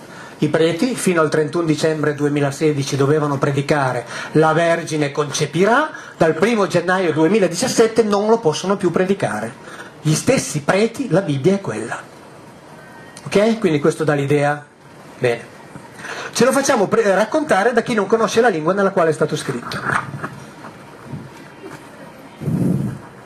Non sappiamo chi l'ha scritto, non sappiamo quando l'ha scritto, non sappiamo come fosse scritto in origine, ma, ma dopo che ce l'hanno predicati questi qui, noi lo crediamo vero senza averlo mai letto. e a quel libro con tutte queste caratteristiche noi affidiamo teoricamente la nostra eternità. È vero o non è vero? Non è una setta di 300 persone, sono un miliardo e mezzo di persone che fanno così. Un miliardo e mezzo di persone che fanno così. Se fosse una setta di 300 persone prenderemmo il guru e diremmo mettetelo sotto processo la stessa cosa bisognerebbe fare con... Ma non si fa perché sono un miliardo e mezzo di persone perché governano il mondo. Ma governano sul fatto che predicano qualcosa che hanno inventato loro, di cui non sanno nulla, fanno in modo che venga predicato a gente che non lo legge. Mi fa ridere e incazzare quando si, si, leggo in rete, ah, ma perché Biglino parla a gente che non conosce la Bibbia, perché invece i preti alla domenica parlano agli esegeti e ai filologi. Quando il vescovo nel Duomo di Milano fa la messa parla degli esegeti o parla agli stessi a cui parla Biglino. Perché di loro non lo dicono? E invece di me sì, perché siccome non sanno più cosa inventare, Ovviamente devono dire questo. Per cui voi stasera siete una massa di ignoranti, se domani andate a messa siete dei devoti fedeli. Capite la differenza? Ma siete sempre gli stessi nel giudizio nelle teste di quelli lì. Siete sempre gli stessi. E quando entrate nelle chiese, entrate in luoghi che sono una bestemmia contro Dio. E tra duemila anni, quando scaderanno qui in Italia, diciamo in Occidente, troveranno migliaia di statue di uno inchiodato su una croce. Poi faranno ricerche e scopriranno che di quello lì inchiodato sulla croce prove storiche non ne esistono. Badate, io dico questo essendo uno di quelli che pensano che quel personaggio lì sia fisicamente esistito. Quindi non sto negando l'esistenza di Gesù, sia ben chiaro. Però io vi dico, sono tra quelli che pensano che sia esistito, ma se voi mi chiedete dacci le prove, io non sono in grado di darvele. Quindi penso che sia esistito, sia ben chiaro perché prove storiche certe non ce ne sono. Quindi tra duemila anni, quando quegli esegeti applicheranno al cristianesimo le stesse categorie esegetiche che gli esegeti cristiani applicano alle cosiddette religioni pagane, diranno che il cristianesimo era una religione di idolatri. Perché troveranno le statue di questo qui, troveranno le statue di sua madre, Troveranno le statuette e le immagini di tutte le divinità intermedie di fronte alle quali i cristiani si inginocchiano per chiedere favori e grazie, accendono candele, troveranno tutta questa miriade di divinità intermedie, cioè i santi, e diranno quella è una religione di idolatri. C'è qualcuno di voi che è in grado di spiegarmi, ma spiegarmi, non la differenza che c'è tra le statuette di Padre Pio o di Santa Teresa e le statuette dei Lari e dei Penati che i romani si tenevano sul comodino? Se c'è qualcuno che è in grado di darmi questa spiegazione, me la dia.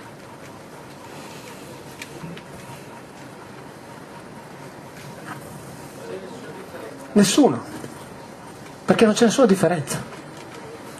Perché non è che i romani erano dei coglioni perché vabbè loro che cretini, invece noi erano le statuette dei loro avi,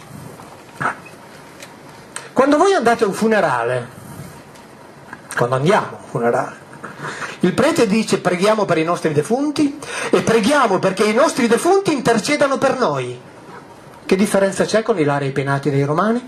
Nessuna. Quelli erano degli idolatri, noi invece. Ma c'è un'altra differenza che è sostanziale che loro potevano farlo, noi no.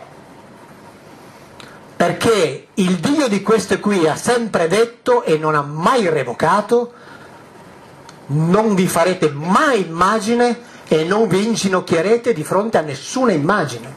Quindi bisognerebbe entrare nelle chiese con la Bibbia e dire fuori tutte queste robe qui. Perché Dio ha detto non le voglio vedere. Loro le fanno, le vendono e ci guadagnano sopra. Perché? Arrivo? No, però chiedo scusa, prima c'era una mano là, ancora chiedo scusa.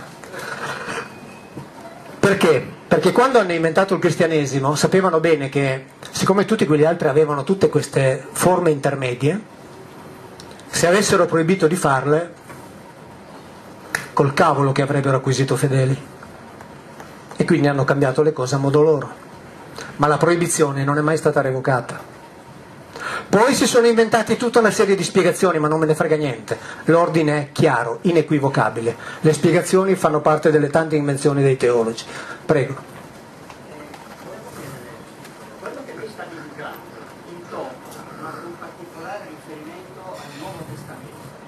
Secondo lei può essere collegato il patrimonio ai fatti e ai misteri di Re di Sidon?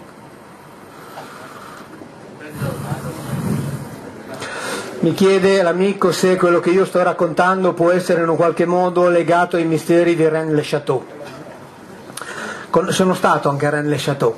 Eh, conosco tutto ciò che è stato raccontato, diciamo che è teoricamente possibile, cioè nel senso che eh, la ricchezza che pare abbia acquisito quel sacerdote potrebbe essere derivata dall'aver scoperto cose che, un po' come per i templari, quando sono stati là a cercare, che ovviamente in otto non potevano fare un tubo nel difendere i pellegrini, e hanno trovato cose con le quali hanno potuto ricattare la Chiesa e poi, come succede spesso ai ricattatori, sono stati fatti fuori.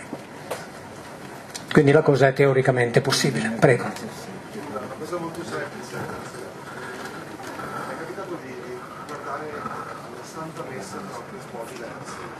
Possiamo parlare un po' più forte perché altrimenti... E parlavo della messa come, come iter. Sembra quasi a volte un esercizio. Parlo di cose semplici come l'inginocchiarsi, mettersi in piedi. Oltre al controllo c'è qualcos'altro, cioè, secondo lei è semplicemente un controllo dei fedeli che devono passare X tempo alla settimana in tempi diversi entrare nella chiesa perché anche le chiese sono molto fanno stare fanno già sentire in uno spazio quasi magico no? Sì, qui entreremmo in discorsi molto più complessi, capisco a che cosa si riferisce. Cioè la possibilità, al di là del controllo che spesso si esercita dando ordini apparentemente illogici, ed è proprio lì che si esercita il controllo, perché se io ti do un ordine che tu puoi capire, tu lo puoi eseguire perché lo ritieni giusto. Se io ti do un ordine illogico e tu lo esegui, vuol dire che sei veramente in totale mio potere. Quindi c'è questo. Però in più, esattamente, però in più ci può essere il discorso, ma qui però esuliamo ovviamente, della produzione di un qualcosa che avviene nel momento in cui si mette assieme molta gente. mi ha risposto Gra- grazie di avermi salvato.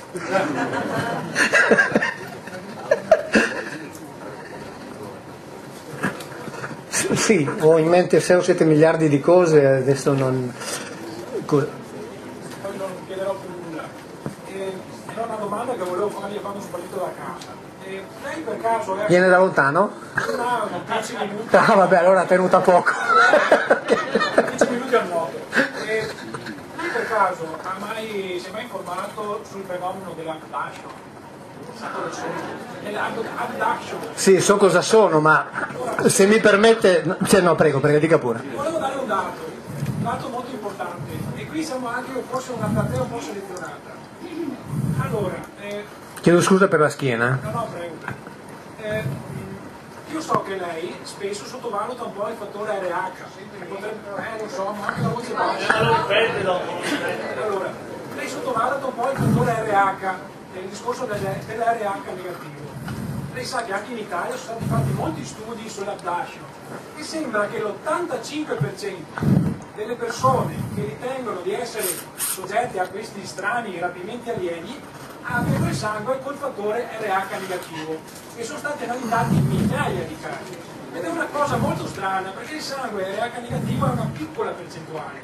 Perché invece la gente che sostiene di essere prelevata da questi signori ha l'80 per- l'85% è, la- è il contrario di quello che può essere, sostiene, eh, cioè ha il sangue con l'RH negativo. E questa è una prova, cioè o l'RH negativo porta a avere visioni, oppure c'è un, collegamento che è comunque molto forte. perché comunque l'RH negativo è un qualcosa che tende a preservare se stesso come razza, perché ti impedisce di filare, di filare in modo disordinato. E questo è un dato che comunque mi ha sempre stupito. È strano, io sono sicuro che qui siamo 200 persone, non, non ce ne sono 20 con l'LH negativo, siete molti di più. Perché se alzate le mani siete in tanti, più del 10%. Come se il sangue RH negativo si facesse più domande o comunque avesse la testa che ragiona diversamente. Tutto qua. Ha già detto tutto. Sì, io non è che non lo sottovaluto, che lo sottovaluto, diciamo che non me ne occupo. Se le può interessare, io sono RH positivo come donatore e negativo come ricevente. Non lo so. Perché se lei cioè io sono positivo in un senso e negativo nell'altro. No, già, già lei, ha un, nel, già, già lei eh, quando incrocia le mani mette il dito sinistro sopra. Eh, no, non lo fanno tutti. Perché, Adesso dovrò stare attento. Perché già una volta che ho per comodità avevo indicato delle cose che erano in tre così, no, no, ma poi se, se mette a scombinare, eh, no, no, meglio non parlare delle incrociare le mani, sennò si va. Esatto. Allora, allora, stavamo dicendo, eh, ci sono appunto delle cose che ci vengono raccontate, come per esempio quelle relative ai Vangeli, vi ho fatto l'esempio adesso di, delle donne, vi ho fatto l'esempio del, del, del gemello. Per esempio, noi dobbiamo credere appunto che Gesù Cristo è morto, è stato deposto lì, poi è risuscitato. E adesso faccio una domanda alle donne, se avete presente quel racconto di quando la Maddalena va per curare il corpo. Se voi siete state per tre anni con un uomo, di cui siete state col 99,9% compagne, perché queste donne che stavano con questi qui dove c'erano i Boanerges, i figli del tuono, io non riesco a immaginare che siano stati tre anni a parlare di farfalle e di raccolte di francobolli. E voi, e comunque tanto quando la Maddalena si scioglie i capelli, questo poteva essere fatto da una donna ebrea solo, di, solo o per il marito, o per il fratello, o per i figli. Di fronte a qualunque altro sarebbe stata lapidata. Quindi siete state per tre anni, avete assistito al suo processo, avete assistito alla flagellazione, avete assistito alla crocifissione, avete assistito quando l'hanno tirato giù, avete assistito quando l'hanno messo in, uh, nel sepolcro. Poi ci tornate un po' di ore dopo, vedete uno lì nel giardino e non lo riconoscete più. Vi può capitare una roba del genere? Assolutamente no. Assolutamente no. Quindi lì è successo qualcosa di strano. E nei Vangeli che noi non dobbiamo credere veri c'è scritto che lui cambiava forma. Ma quelli noi non li dobbiamo, arrivo subito, ma quelli noi non li dobbiamo credere veri. Così come nel Vangelo di Pietro c'è scritto che nella notte in cui lui è stato sepolto è arrivata una luce dal cielo, sono scesi in due, hanno aperto il sepolcro, due sono entrati, sono usciti in tre, il terzo che non riusciva a camminare veniva sorretto ed è stato portato via. Ma questo non lo dobbiamo credere vero. Tutto il resto sì, questo no. Perché questa è una stupidaggine. Ma chi è che stabilisce che è una stupidaggine? Quegli stessi che ci raccontano la Vergine concepirà e partorirà, eccetera, gli stessi, che stabiliscono che cosa dobbiamo credere vero e che cosa non dobbiamo credere vero. Quando Maria rimane incinta, nel protovangelo di Giacomo c'è scritto che Giuseppe era fuori per una delle sue campagne di lavoro. Torna dopo sei mesi e trova la Maria incinta e si incazza e dice chi è che mi ha fatto questo? Cosa dirò io adesso a chi me l'ha affidata? Ma dice una frase che è stupenda. Dice, ma è successo a me ciò che è successo ad Adamo, che aveva una compagna, è arrivato uno e gliel'ha sedotta? quello che è successo a Eva e Giuseppe si pone questa domanda, ma noi non la dobbiamo credere vera. Ma chi è che stabilisce che noi non, non la dobbiamo credere vera? Basta con sto fatto che in certe scrivanie c'è stabilito che cosa noi dobbiamo credere o non credere. Noi leggiamo e poi decidiamo. Quando i due, Giovanni Battista e Gesù, che nascono tutte e due dopo che un Gabriel ha visitato le loro madri, tutte e due nascono dopo che un Gabriel, cioè uno che esercita il potere per conto di un El, ha visitato le loro madri. E il gesuita Jean Dagnalou, cardinale, accademico di Francia, docente di teologia, che ha condotto uno studio accuratissimo sulla figura di Gabriele e dello Spirito Santo, nei suoi libri scrive lo Spirito Santo è la trasposizione cristiana di Gabriele e Gabriele nella Bibbia è definito Ish, individuo maschio. Quindi quando un Gabriele va a visitare la madre di Giovanni Battista, lei rimane incinta, un Gabriele va a visitare Maria, lei rimane incinta. E i due hanno una missione da compiere. E quando, e quando, Giovanni Battista predica nel Giordano e si dice predica la conversione dei peccati, e si dice andavano da lui a confessare, confessare è l'idea che abbiamo noi, vado lì nel silenzio, no, in greco c'è exomologumenoi, andavano a urlare con enfasi le loro colpe, cioè quasi con eh, l'intento di vantarsene. Perché Giovanni Battista doveva creare un esercito di combattenti e quindi diceva tu, io ne ho uccisi tre, vieni con noi, le tue colpe non contano più, perché a rimettere i peccati lo può fare solo Dio, dice, dicono gli ebrei, non certo Giovanni Battista. Quindi rito di immersione, entri nel nostro gruppo. Tu cosa hai fatto? Ho incendiato due case, vieni con noi. Cercavano i combattenti, i tagliagole. E dice, voi scribi e farisei, razza di vipere, se non praticate la metanoia, il cambiamento della mentalità, cioè se non vi mettete con noi, noi vi ammazziamo, la già ai vostri piedi. Quando viene il momento del combattimento noi vi ammazziamo.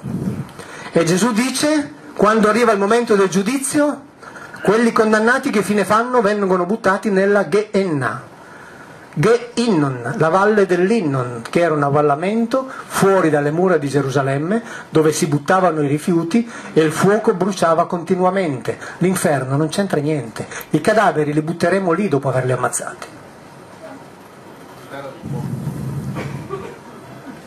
Forse va proprio riscritto tutto e lì raccontato tutto. Quando Gabriele dice alla, alla, mm, a Maria, Caire che caritomene, che caritomene è il participio medio passivo del verbo caritò, che vuol dire rendersi belli fisicamente. Gioisci tu che ti sei fatta bella. Nel capitolo 6 della Genesi si dice che gli Elohim videro che le femmine dell'Adam erano appetibili, se ne presero per compagne quante ne vollero. A loro piacevano le femmine, come è giusto. Le femmine, soprattutto se erano belle, ma è normale, no? Dicono in sostanza Gabriel, Gabriel dice gioisci tu che ti sei fatta bella, cioè come dire abbiamo scelto te. Questo lo aggiungo io, eh? Altrimenti poi dicono, ah, Biglino, cioè, quindi Caire che caritomene è nei Vangeli. Abbiamo scelto te, lo dico io, così almeno siamo tranquilli. Prego. Nella non c'era Moloch. No, Moloch è un'altra cosa. Moloch può essere o una divinità, oppure può essere il participio passato di una particolare forma di verbo iofal che significa il mandare verso l'alto, cioè sacrificare a Moloch voleva dire fare quei sacrifici che trasformavano il sacrificio tutto in fumo che andava verso l'alto. Quindi Moloch avrebbe il corrispettivo nella parola latina missum, che vuol dire mandato verso l'alto, mandato, che trova nel plurale del neutro missa, le cose mandate verso l'altro, cioè la messa. Può essere le due cose. Ok? Quindi la messa può essere il neutro plurale di missum che corrisponde al participio passivo della forma iofal, del verbo alach, eccetera. Ho letto che qualcuno dice che potrebbe essere Milcom. Localizzato diversamente. Da Moloch Milcom. Milcom era, Milcom era il, quello che comandava questi qui, discendenti di Arad. Era un eh, Elohim collega di Yahweh. Secondo me, ma questo è secondo me, quindi lo prendete e lo buttate via immediatamente, erano fratelli. Figli di Shaddai, che è quello che si presenta ad Abramo e che divide la famiglia tra i suoi figli. In Deuteronomio 32 si dice che in- nel momento in cui si fa la divisione a Yahweh viene affidato Giacobbe.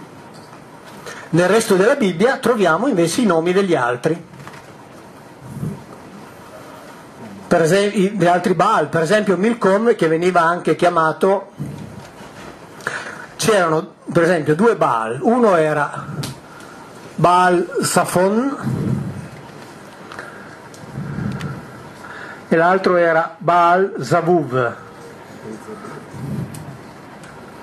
che sono stati trasformati in due diavoli.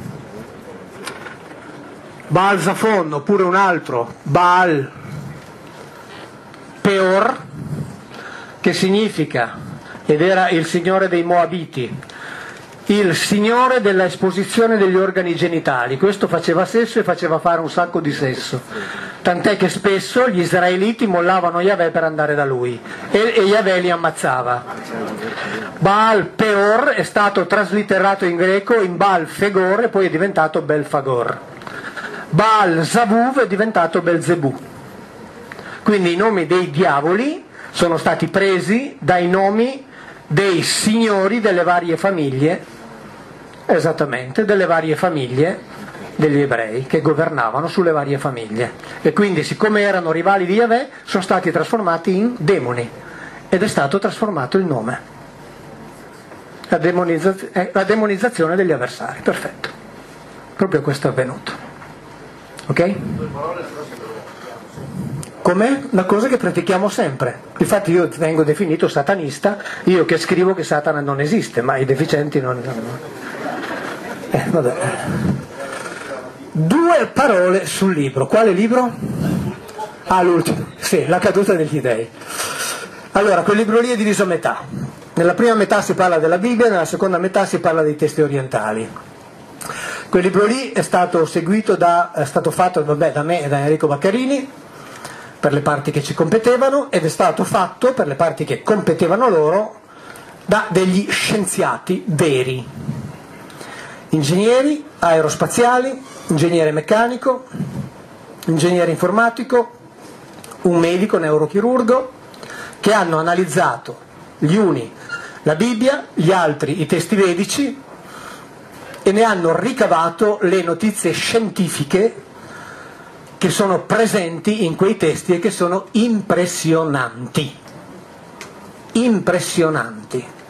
Nel senso che ci sono delle università indiane che hanno prodotto, sulla base di ciò che c'è scritto nei testi, materiali che noi non conoscevamo, sia per esistenza che per leggerezza. Li hanno prodotti le università indiane. In quel libro lì si dà conto di questo, si dà conto per esempio delle conoscenze mediche che avevano, si dà conto delle armi che usavano, armi ad altissima energia, in alcuni casi paragonabili all'energia atomica, in altri casi no, in altri casi pure energia termica ma di altissimo potenziale, nel senso che per esempio ad Arappa e Mohenjo-Daro è stata applicata un'energia termica che variava tra i 1800 e i 2000 gradi per 4-5 secondi e che ha vetrificato tutto. Prego? La Trini. E che ha vetrificato tutto. Lì non è ener- energia atomica. Invece, per quanto riguarda, lì è analizzato anche la vicenda di Sodoma e Gomorra, con i testi assiri assiro-babilonesi dove si parla di come quella vicenda è nata, voi sapete che si dice che hanno distrutto Sodoma e Gomorra perché erano dei sodomiti, in realtà c'è scritto che hanno distrutto Sodoma e Gomorra perché stavano cambiando alleanza militare. Deuteronomio. e nei testi assiri si dice anche chi è che stava facendo cambiare alleanza militare, uno di loro di nome Nabu, che stava facendo, eh, facendo cambiare alleanza militare a quelle cinque città, non soltanto Sodoma e Gomorra, e poi arriva Nergal e su ciascuna delle cinque città dice, dicono i testi, lancia l'arma del terrore. La cosa incredibile è che dalla Mesopotamia qui siamo diciamo in Israele e Giordania, dalla Mesopotamia dove erano riuniti i capi perché per usare quelle armi era, guarda caso, necessario il permesso dei grandi capi, guarda caso, non è cambiato niente. I grandi capi, è bellissima la frase, quando dicono chi poteva immaginare che il vento del male sarebbe arrivato fin qui e fuggono da Israele alla Mesopotamia è arrivato il vento del male. Ora noi sappiamo che cos'è il vento del male. E nella Bibbia c'è scritto, libro della Sapienza, duemila anni dopo, duemila anni dopo, che in quei terreni non nasce niente, duemila anni dopo. Cosa hanno fatto in quei territori lì? E se fosse vero che li hanno uccisi perché erano dei sodomiti, ma secondo voi Dio per uccidere qualche sodomita uccide tutti, bambini, animali, vecchi, tutti? Sarebbe un dramma se fosse vero, perché saremmo nelle mani di uno psicopatico. Saremmo, lo era, sì sì, ma ancora di più. Saremmo veramente nelle mani di una persona pericolosissima. Per fortuna non è così, era una normale lotta per il potere. Questi stavano cambiando alleanza militare e li hanno annientati. E la Bibbia se ne dà conto, se ne dà conto più volte, a distanza di 800 anni, a distanza di 1200 anni, a distanza di 2000 anni. Nel libro trovate tutto, trovate i versetti biblici, li potete andare a verificare. Ciò che per noi è tabù e quindi chi ne parla è un mentecatto, per l'India è normalità assoluta. Normalità assoluta. Cioè parlare nelle guerre dei cieli, tra l'altro nel libro trovate anche le citazioni di, di autori latini, eccetera, eh, per esempio Plinio il Vecchio che parla delle guerre nel 110 a.C., delle guerre tra schiere celesti sui cieli dell'Umbria, Plinio il Vecchio, eh? sapete chi è? Però non se ne parla mai ovviamente perché altrimenti poi lo devono spiegare. Così come non si dice mai che Tacito racconta che nel 70 d.C. sui cieli di Gerusalemme volavano macchine celesti ne parla anche Cicerone, e, e Tacito dice che quando volano queste macchine celesti sui cieli di Gerusalemme si, dice, si sente una voce che dice le divinità se ne vanno. Giuseppe Flavio che dice che racconta della morte di Mosè. Sapete che Mosè nessuno l'ha visto morire. Mosè a un certo punto decide di andare a morire, se ne va con i suoi due fedelissimi, Giosuè e Eleazzaro. Se ne va nella valle di Moab, questi qui, dopodiché non si sa più niente. Giuseppe Flavio scrive che giunto nella valle di Moab arrivò una nube e se lo portò via. Ora, nube è il termine col quale in tutto l'Antico Testamento si, si identificano le macchine volanti di quelli lì. Ma Giuseppe Flavio dice un'altra cosa che è stupenda. Dice, e Mosè fu costretto a scrivere che era morto perché nessuno potesse dire che se n'era andato con le divinità. E nella Bibbia chi è che se ne va con le divinità? Enoch, Elia e Mosè. E quando Gesù vive la famosa trasfigurazione, ce l'avete presente, quella sul Monte Tabor, dove una luce arriva, lui cambia aspetto, eccetera, chi è che si presenta a lui? Mosè ed Elia, due non morti, cioè due che se ne sono andati con le divinità. Ma è tutto un caso? È possibile che sia tutto un caso? Non ha più senso pensare che ci sia un filologico, arrivo? Non ha più senso pensare che ci sia un filologico? Come quando gli adamiti vengono allontanati Ah, lì tra l'altro si parla anche del miracolo di, cosiddetto miracolo di Eliseo, che è in realtà un intervento di alta chirurgia su un aneurisma cerebrale, tutto descritto da un neurochirurgo nei minimi particolari, quindi non si tratta di un miracolo. Stavo per dirvi una cosa che mi è passata di mente.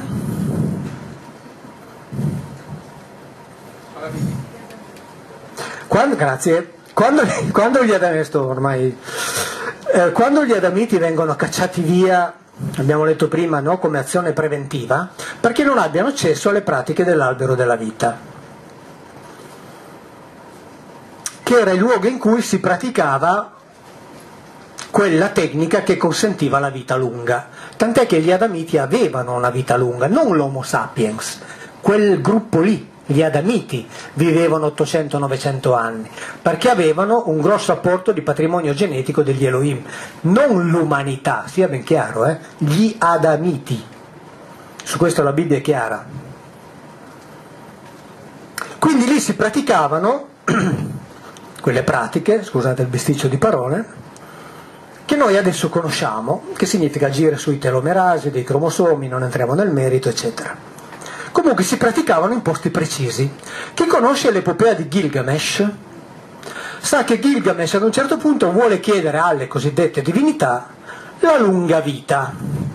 Ah, non vi ho parlato di alcuni miliardi di cose, tra cui l'eternità. Vabbè, fa niente, pazienza. Chiedere la lunga vita. Allora uno dice, se voglio chiedere la lunga vita a Dio, cosa faccio? mi rivolgo a Dio, gli dico quanto sono stato buono, quanto sono meritevole, quanto sono... No, no. Gilgamesh deve partire fare un lungo viaggio per andare nel posto dove si dà la lunga vita. Non è che la, la si ottiene ovunque, per ottenere la lunga vita bisogna andare lì. Se non vai lì non la ottieni. E quel lì è il Gan Eden, era in quel caso il Gan Eden biblico, che di Eden ne avevano più di uno, Omero ne descrive un altro, quello del giardino di Alcinò, che era un altro Eden loro. Se non vai lì, la vita lunga non la ottieni. E gli Adamiti sono allontanati di lì. E guardate caso, e questo però lo sapremo forse tra 15-20 anni perché lì gli scavi sono lunghissimi, la zona corrisponde a Göbekli Tepe siamo nel sud-est della Turchia, è un sito stranissimo, ancora in gran parte da scavare, l'unica certezza è che quelli che sono, sono andati, prima di andarsene, l'hanno ricoperto per nasconderlo. Cioè non è stato ricoperto dalla natura, è stato ricoperto da quelli che ci stavano e l'hanno chiuso prima di andarsene. Ed è proprio in quella zona lì ed è, arrivo, ed è interessantissimo vedere che Adamo ed Eva vengono allontanati da un punto in cui si praticavano le tecniche della lunga vita e Gilgamesh per ottenere la lunga vita deve andare in un punto preciso perché altrimenti non la ottiene. Questo dà o no l'idea dell'esistenza di laboratori in cui si facevano certe cose e certe cose le potevi ottenere solo se andavi lì?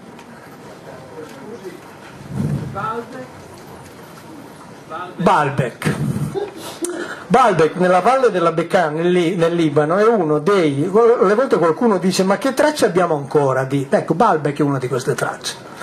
Baalbek è una sovrapposizione di templi, quello più moderno e quello romano, dedicati a Zeus, cioè a Jupiter, sopra quello greco dedicato a Zeus, sopra a quello neolitico dedicato a Utu Shamash.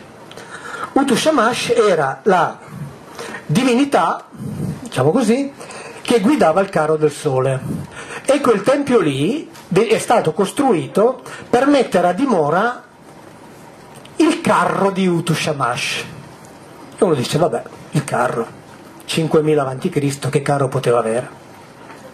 Il problema è che Baalbek ha una base fatta da tre monoliti, cioè tre singole pietre, ciascuna del peso di 900 tonnellate ciascuna messe perfettamente in parallelo in una valle in montagna.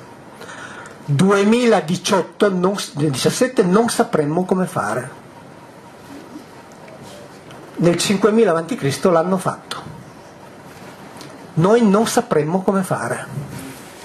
Non abbiamo macchine in grado di farlo. E uno dice ma che cavolo di carro ci doveva mettere lì sopra? Ma non bastavano i San Pietrini o la terra battuta? No. Che spinte doveva sostenere quella base di tempio lì? Che peso doveva sostenere quel tempio lì? Primo, già le domande. Secondo, come hanno fatto a farlo? Non si sa. Tra l'altro è stata scoperta una quarta pietra a un chilometro e rotti di distanza, che per un quarto è ancora infilata nella terra, che pesa mil, peserebbe 1200 tonnellate. È ancora lì infilata. Quindi la stavano scavando per portarla fuori e metterla assieme alle altre. 1200 tonnellate. Non sappiamo noi come farlo ma l'hanno fatto e questo è innegabile e nessuno al mondo è in grado di spiegare. Sì, certo, arrivo, eh. Gli archeologi dicono che li trascinavano con le corde facendoli rotolare sui tronchi di cedro. Io vorrei mettere 20.000 archeologi, ma li frusto io però, eh, se non ce la fanno. Li frusto io. In montagna, non sull'asfalto.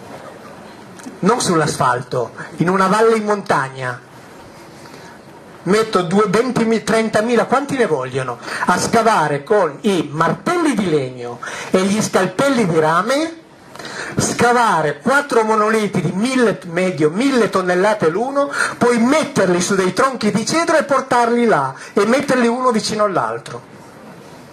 Ma do, non sarebbero meglio a dire non sappiamo? Esatto. È lo stesso modo, solo che lì noi non abbiamo la tecnologia, pensiamo allo Z, alle pietre di 70 tonnellate, se, ma, lì, ma lì, sì, lì comunque parliamo di 900 tonnellate in montagna, quindi cioè, inventino quello che vogliono, dovrebbero avere il buon senso di dire non sappiamo. È a conoscenza di qualche ecco ad alto contenuto tecnologico individuato durante gli scavi? Non so, chiedo sono delle prove, non so, un iPhone, un circuito di mille valvole, elevato. Ci sono delle viti di tungsteno in pietre di 3 milioni di anni fa, viti di 3 mm.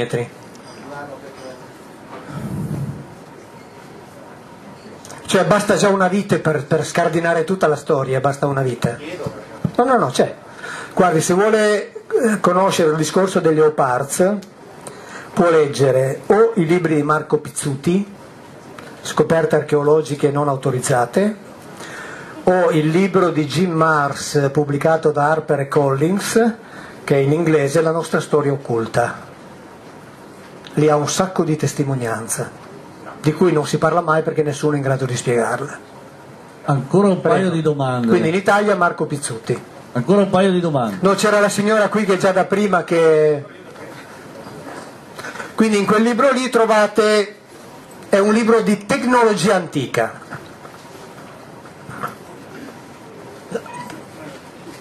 Solo una curiosità, eh, la faccio ritornare a circa mezz'ora fa quando si parlava dei Vangeli e delle chiamiamole fonti sospette.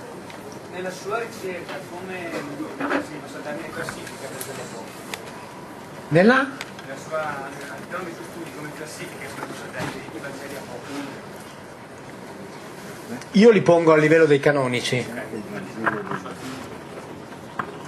Eh, il problema tra apocrifi e canonici è che mentre i canonici possono essere utilizzati e sono stati utilizzati da Ireneo di, Lione, di Ireneo di Lione e Atanasio di Alessandria poi per costrui, iniziare a costruire ciò che sappiamo, con gli apocrifi sarebbe più difficile, ma dal punto di vista della credibilità per me io faccio finta che siano veri perché li trovo coerenti. Poi non so se sono veri, sia ben chiaro, ma faccio finta che esattamente.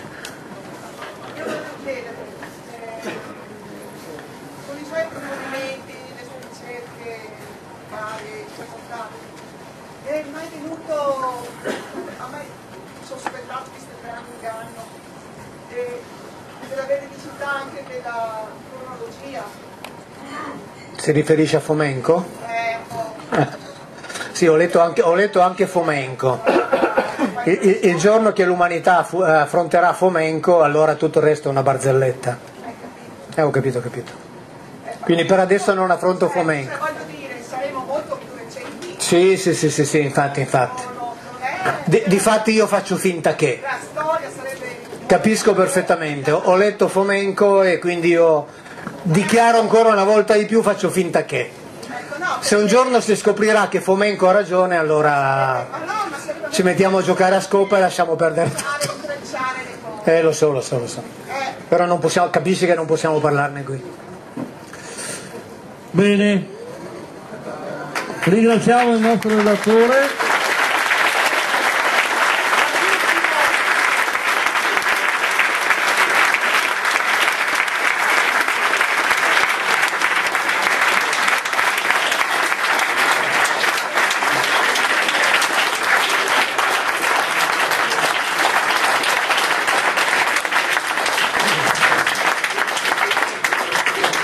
Gra- Grazie a voi, per fortuna ci sono riuscito.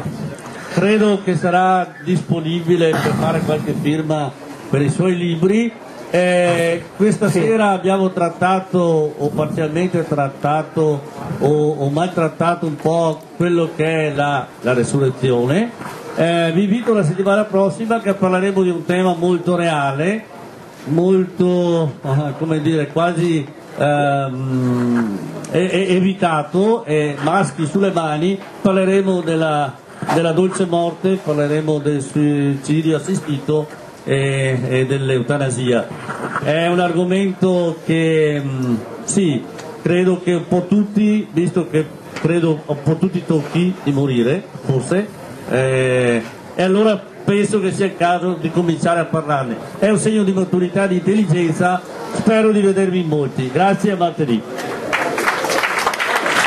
Grazie, grazie a tutti.